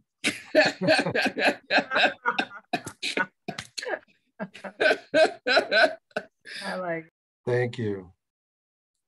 Uh, how about this as a question? Um, we you saw the statistics there at the end of the presentation, the first part of the presentation.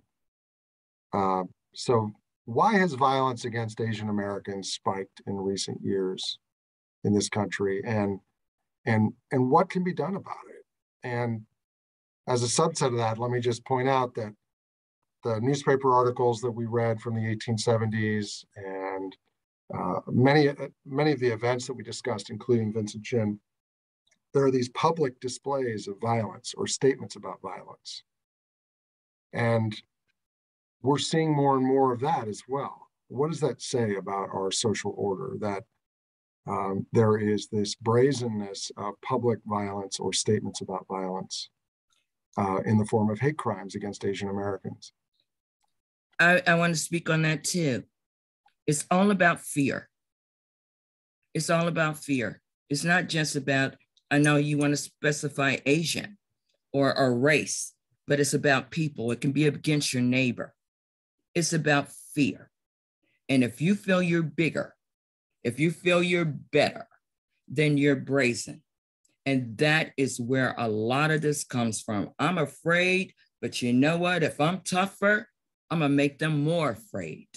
If they don't have more people and I have more people coming over, then I'm the boss. It's about being the boss, which makes absolutely no sense when you go see a cemetery. But that's a lot of what we do. Either we do it out of love or we do it out of fear.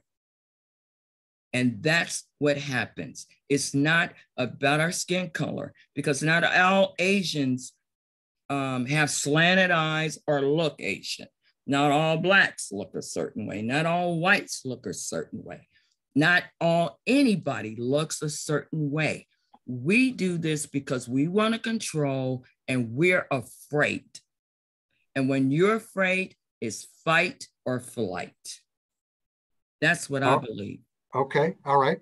Let's thank you. Um, I see some hands are raised, so let's let's hear from some others as well. Um, I have Jeff and Natasha's hands are up next, and then Dorothy, and then Richard. Um, so I, I've been giving a presentation um, for about two years now. It's called Diversity in Hollywood.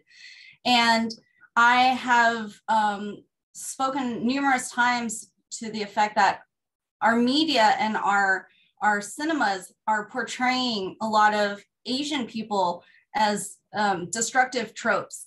You know, they're like gang members, they're nerds, they're they're the the people that you can sort of um, like sex workers for women. They're effeminate for men. It, it's a lot of that, and it's a long history of that as well.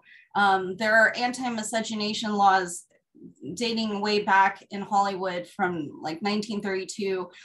And this sets like a base, a foundation for, for a lot of discrimination, I think, across the board for a lot of um, gender discrimination and racial discrimination. And it's perpetuated even today. There's a film that was nominated for Best Picture called Licorice Pizza. And in it, there are two scenes in there where there it is set in the 70s. So the director defended it, saying this is typical for the 70s. But there is a man in there, a white man, who is speaking to his wife, who is Japanese. She's not subtitled, she's speaking in Japanese, and he speaks to her in an Asian accented English. And then it's just supposed to be funny, I guess, you know. And that's the point I want to make is that Asian Americans are are considered the butt of the joke, or it's it's okay. These are destructive tropes, but it's okay. It's comedic. This this is this is really how they are, you know. So I think we have to be more cognizant and more mindful of this too. And when we see this in the media and when we go to cinemas and we watch it on TV, we have to be aware of it and we have to speak up against it. And we have to tell each other that this is not okay. This is unacceptable. And so I think that has a lot to do with it too.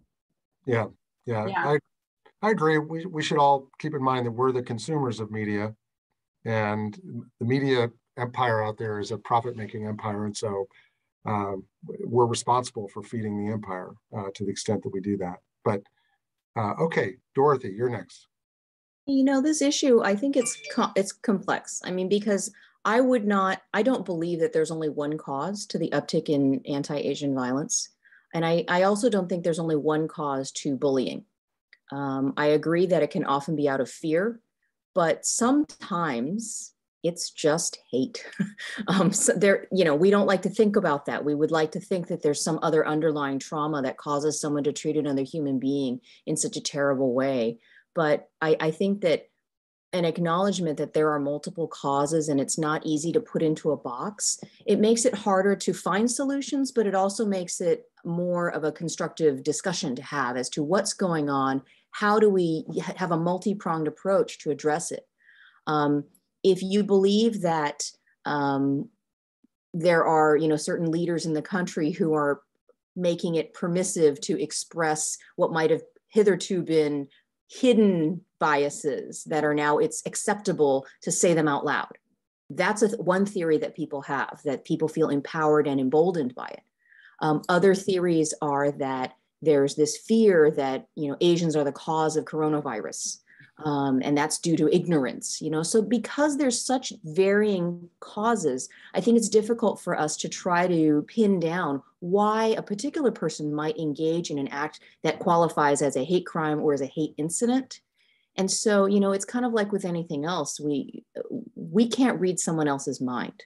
Um, so maybe it's constructive to try not to read their mind but to focus on is there harm to someone that's happening what's the impact I'm less concerned about the intent at this point because I sometimes I feel like, well, a racist person is not going to hear me when I explain to them why they're being racist. Most of the time, it's just met with defensiveness. Let's talk about impact on the person affected. Let's talk about whether there's a way to support folks who have experienced uh, these things um, and try to find a way to be constructive and and um, helpful from that end. I think that that's one way that helps me with my own fatigue, honestly, because this has been years with my own fatigue about the relentlessness of this issue as it's been coming up. And so, you know, that's that's one thing. If it's helpful to any of you, I would commend to you uh, to try to see if that approach works for you because at the base of it all, you know, we see a lot of injustice in, in the type of work that we do.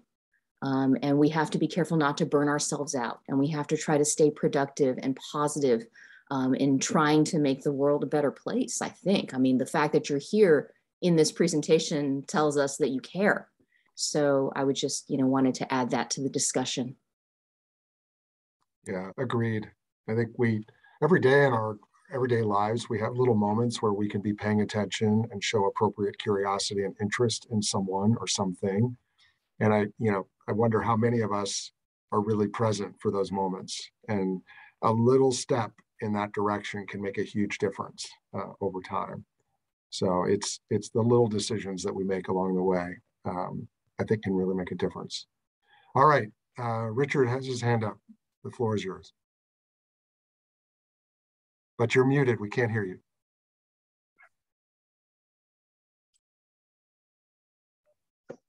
Probably heard me without the microphone, but in any event, I've not really enjoyed the uh, the conversations uh, about these various topics. Um, just as a as a person who's old enough now to see the changes in in uh, in our society over time, um, I grew up at a time when when it seemed to me I was raised by parents who said, you know, you can't justify things by by looking at the ends. The ends don't justify the means, and some of the things that I see on TV and and uh, and uh, the media and everything else uh, does exactly that. Uh, if you're a superhero, uh, it doesn't make any difference if you break the law or cause all this damage or other things, as long as you get the bad guys. Uh, if you're a, a bad cop, but you you arrest the the person who you've seen three scenes before did the robbery, oh, these technicalities about law and search and seizure uh, you know, they really don't matter because we've we've gotten the the bad guy. And the uh, the concern that I have is is the basis of civilization, the basis of, of a more positive civilization is uh, is understanding the importance of those rules and understanding that the ends don't justify the means. Uh, you really don't have a just society if you violate every rule of justice or, or every sense of, of what is right and wrong to, uh, to get a conviction or to prosecute someone unfairly. When it comes to, uh, to bias and prejudice, uh, I think the thing that we have to realize that, is that uh, we as human beings tend to identify who we are. Uh, so it was fairly easy for the German people in World War II to identify who the Jews were because we had names that were suggested of our, our, uh, our background.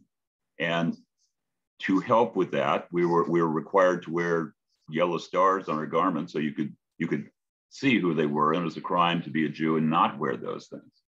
Uh, race in America has been the same way. We, have always been described growing up as children as a melting pot.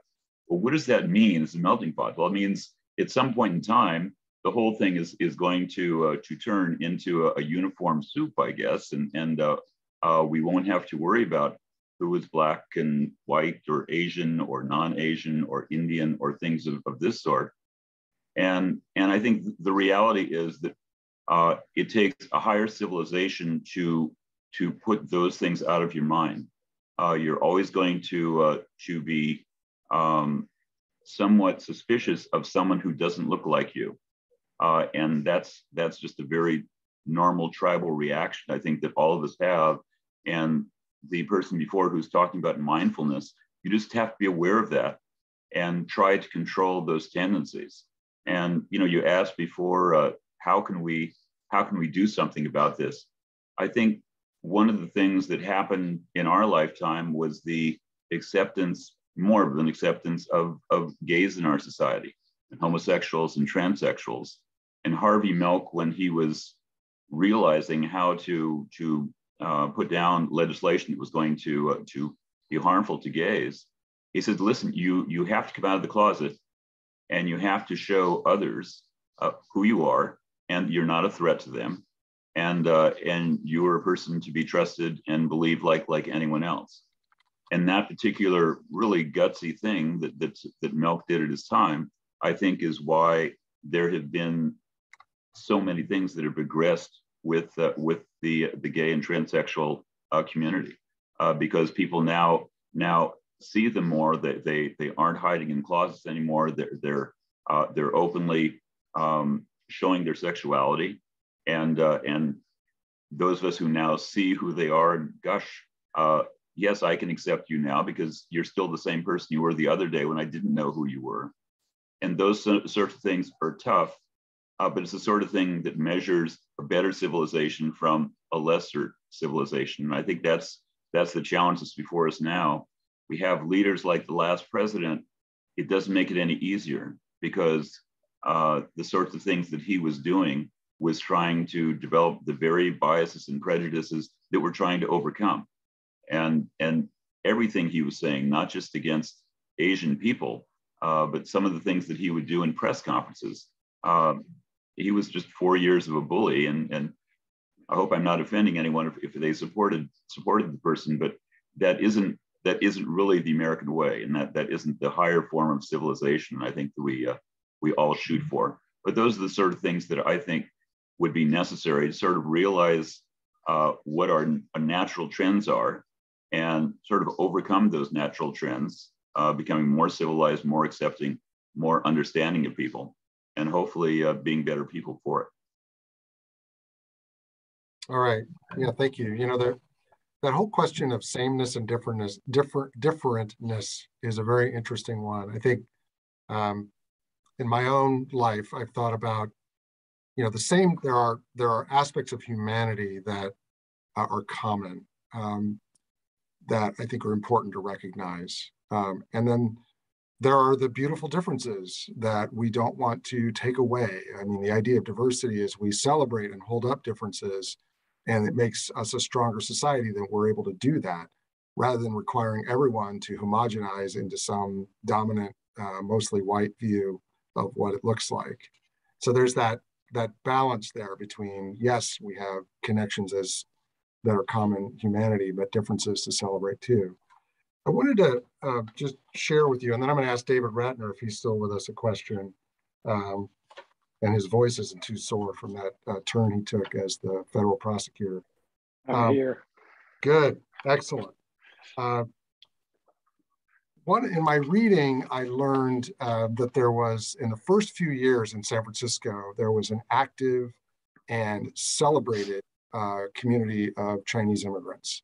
Uh, in 1850, when there was a celeb, uh, when there was a, a, like a funeral march because President Taylor died, uh, they were given a prominent place at the head of the parade and enjoyed and celebrated.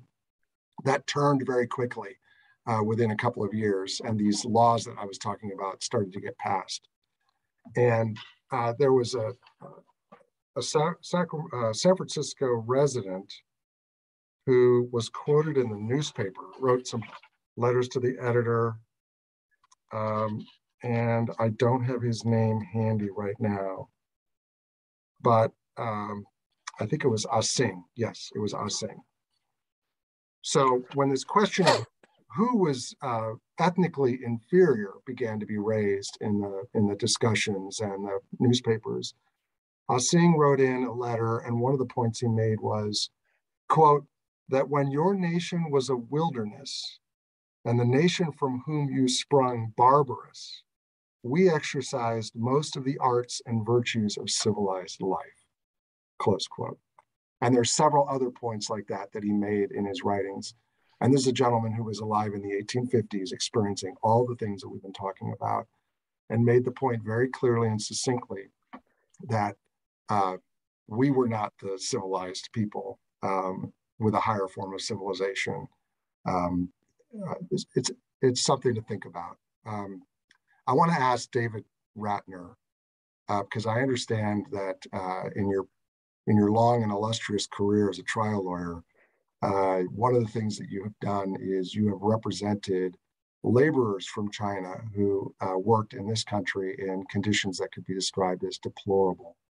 I, I would like for you, if you didn't mind, take a few minutes and just tell us what that work was like. So uh, the career's been long. I don't know how illustrious it's been. Um, but uh, most of it was in New York, and um,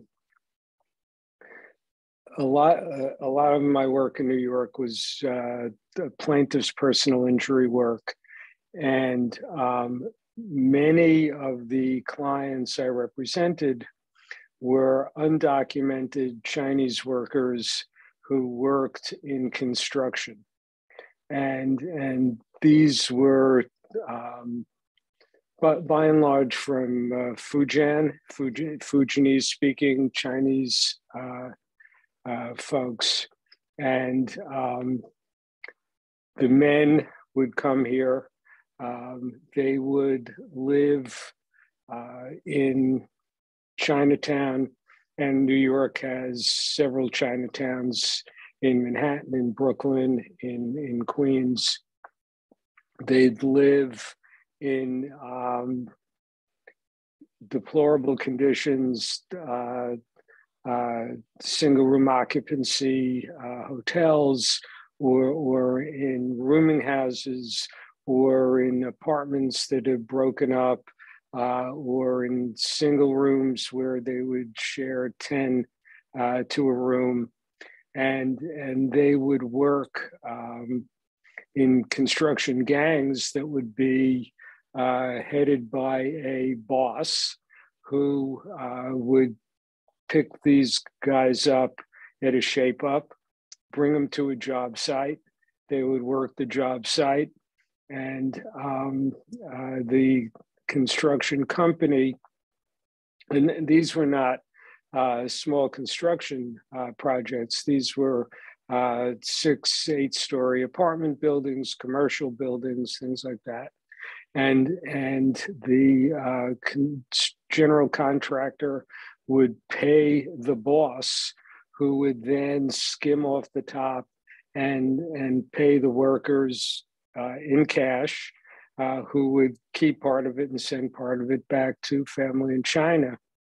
Um, what made these cases worth pursuing was the New York uh, labor law which uh, protected construction workers, whether they were documented or not, whether they were paid in cash or not. Um, that would make both the owner and the general contractor absolutely liable for any type of injury where where a worker either fell from a height or something from a height fell on the worker um, and that formed uh, a, a, good part of my practice for a number of years.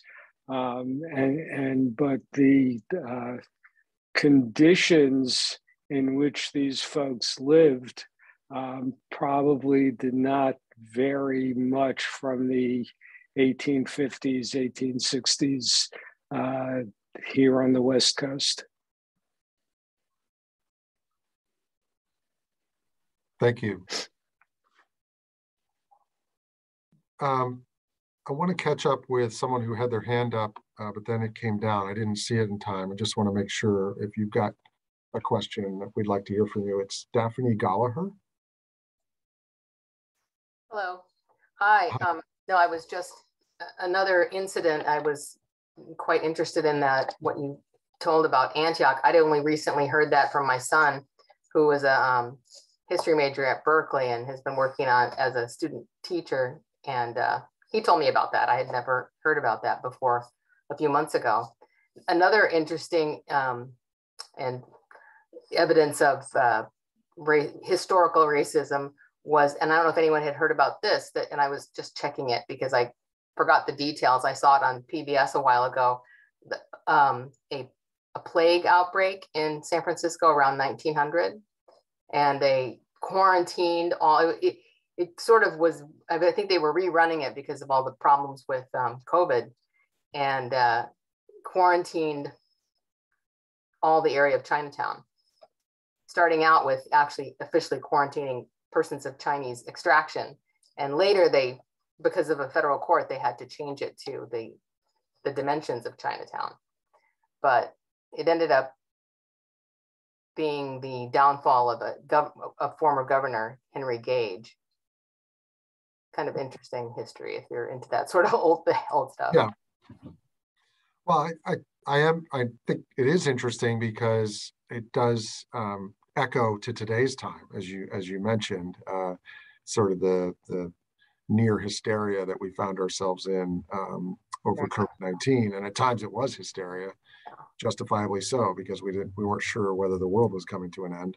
And ginned um, up by some national figures to sort of just, I don't know, set a match to that sort of, um, you know, racism within within our own population. And uh, yeah, the, the, the cycle that, as I see it, uh, the cycle is um, there is some uh, turbulence or trouble that, that appears. It could be economic, like the Panic of 1873, or uh, it could be just the uncertainty of this, you know, illness and where it's going and what it's doing.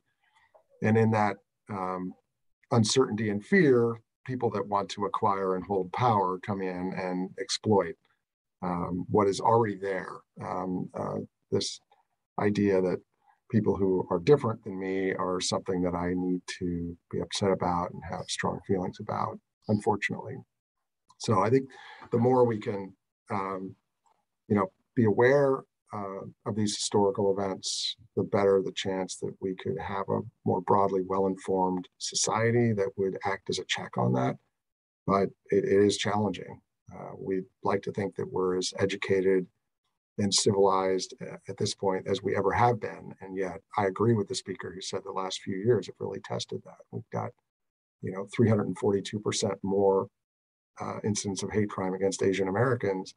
By the way, the hate crimes went up in every category against every against every uh, category of racial ethnicity, but more so against Asian Americans. So maybe double against other groups, but triple and uh, almost quadrupling against Asian Americans. So um, very sobering, very sobering to see the cycle repeat. Um, all right, any any other questions or observations out there? I think uh, we really appreciate everyone's time and attention and uh, want to thank all of the um, folks who volunteered to play roles. Um, actually, I think it was Mika Domingo who saw this um, performed at a, it was Mika. Mika saw this at a convention in DC. I believe it was NAPABA and came back and said, you know, this be a really worthwhile program. And then we took it from there. So thank you, Mika, for that uh, inspiration. Oh, a hand is raised. Uh, D. Rosario. Hi, thank you. Uh, I'm not a lawyer, but uh, uh, this is a great conversation. Um, the question for me is, if this trial, if the, the, Vincent Chin trial would have would have happened today, would would the outcome be different?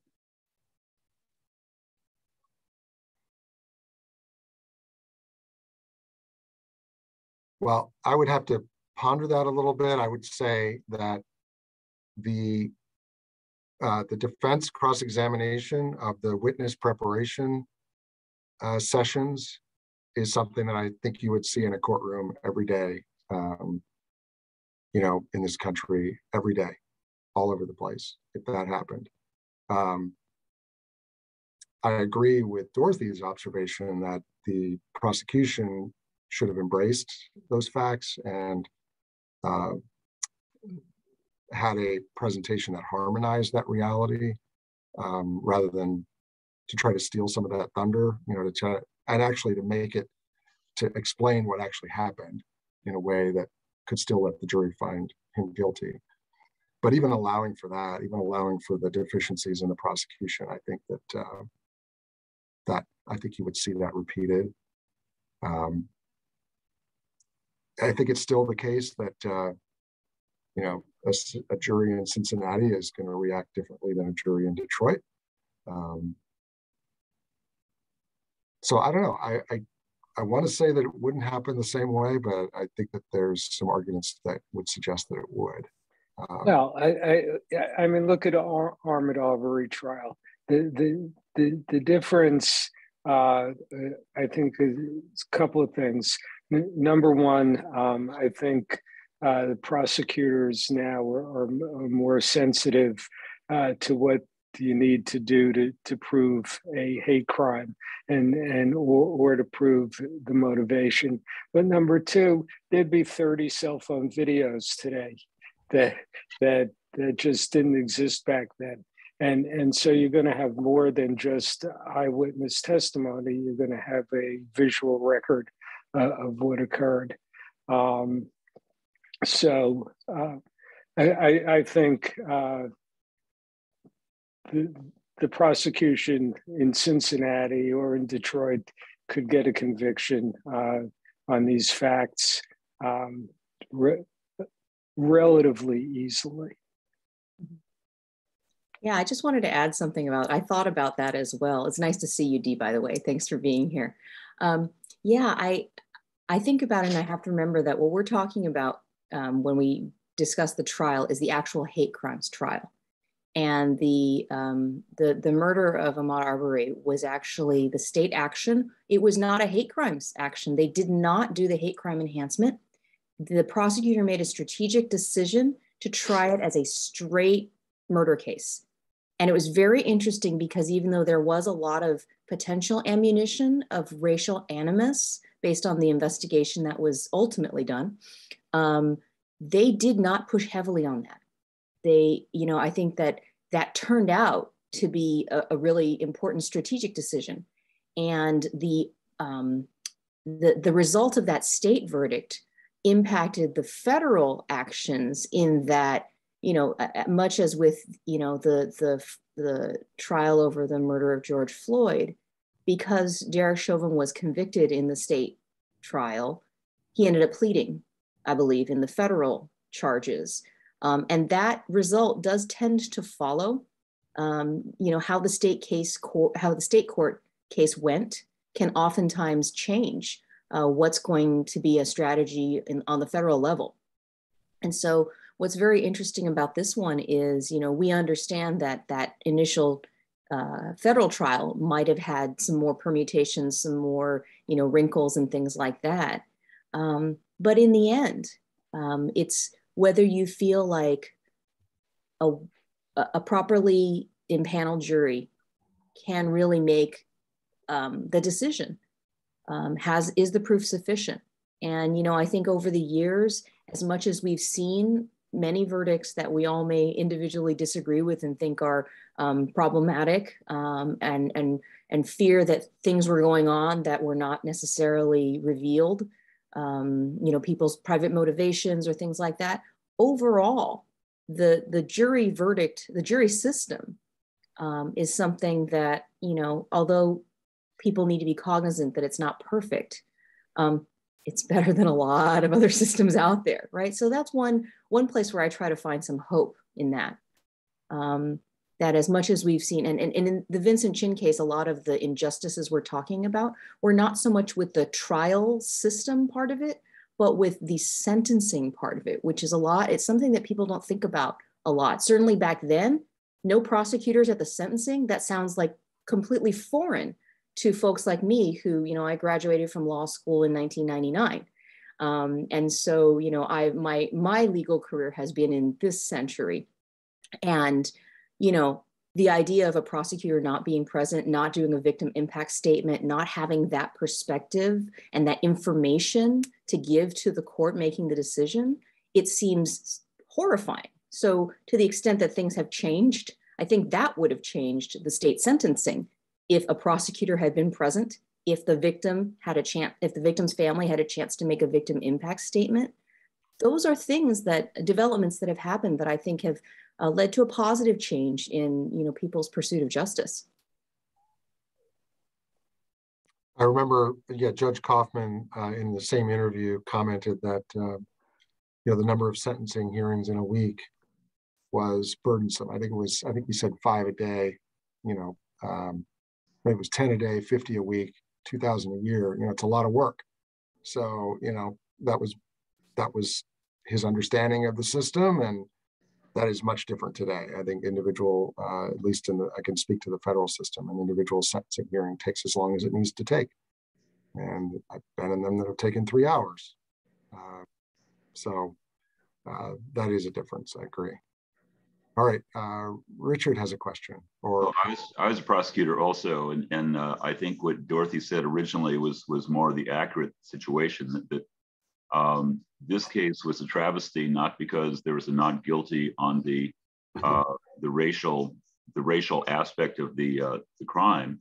This this case was a travesty because the DA this wasn't this wasn't a uh, a sentencing decision the judge was making. This was this was a plea bargain, and the DA who entered the plea bargain uh, knocked it down to a voluntary manslaughter. If I if I heard the uh, the narrative correctly, knocked it down to voluntary manslaughter. And usually you would do that to uh, to number number one, your sentencing options are reduced as a judge, and number two, there might have also been a sentence agreed to, um, and your your record doesn't indicate one way or another uh, whether or not that was true. But I think the thing that is is different today, not that the the federal trial would come out differently, because I think it was really a um, it wasn't the best of, of trials to show uh, racial animus. It was the best of trials to show a very um, heinous murder.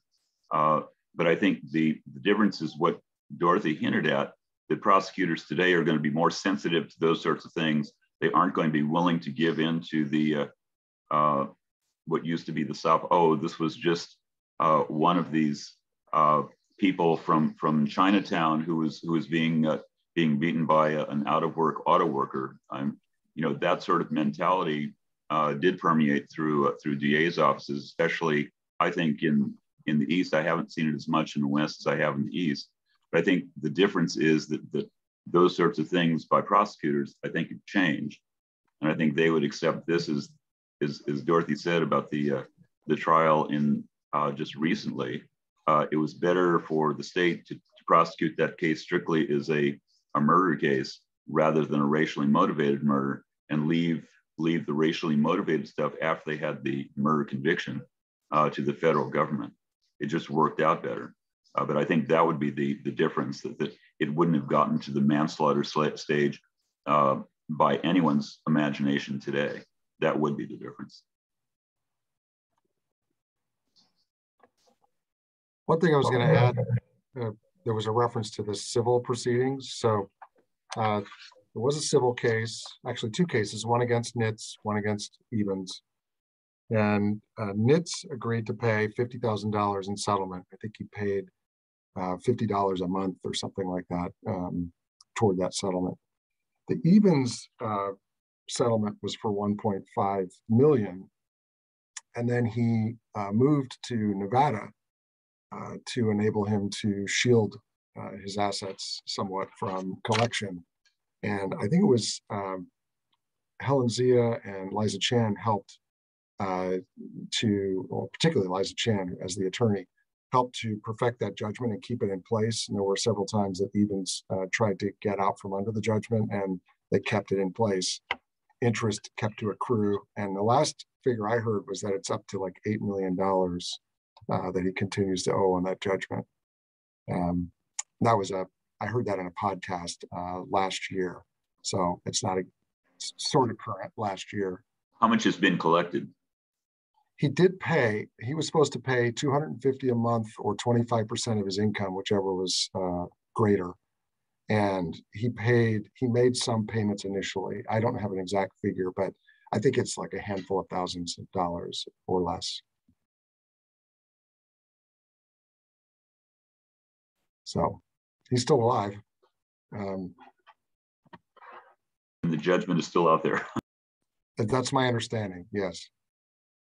And he has no property to pay the judgment on, so it's it's something you can pay for your wall with, but it isn't it isn't very meaningful to the victims. I think.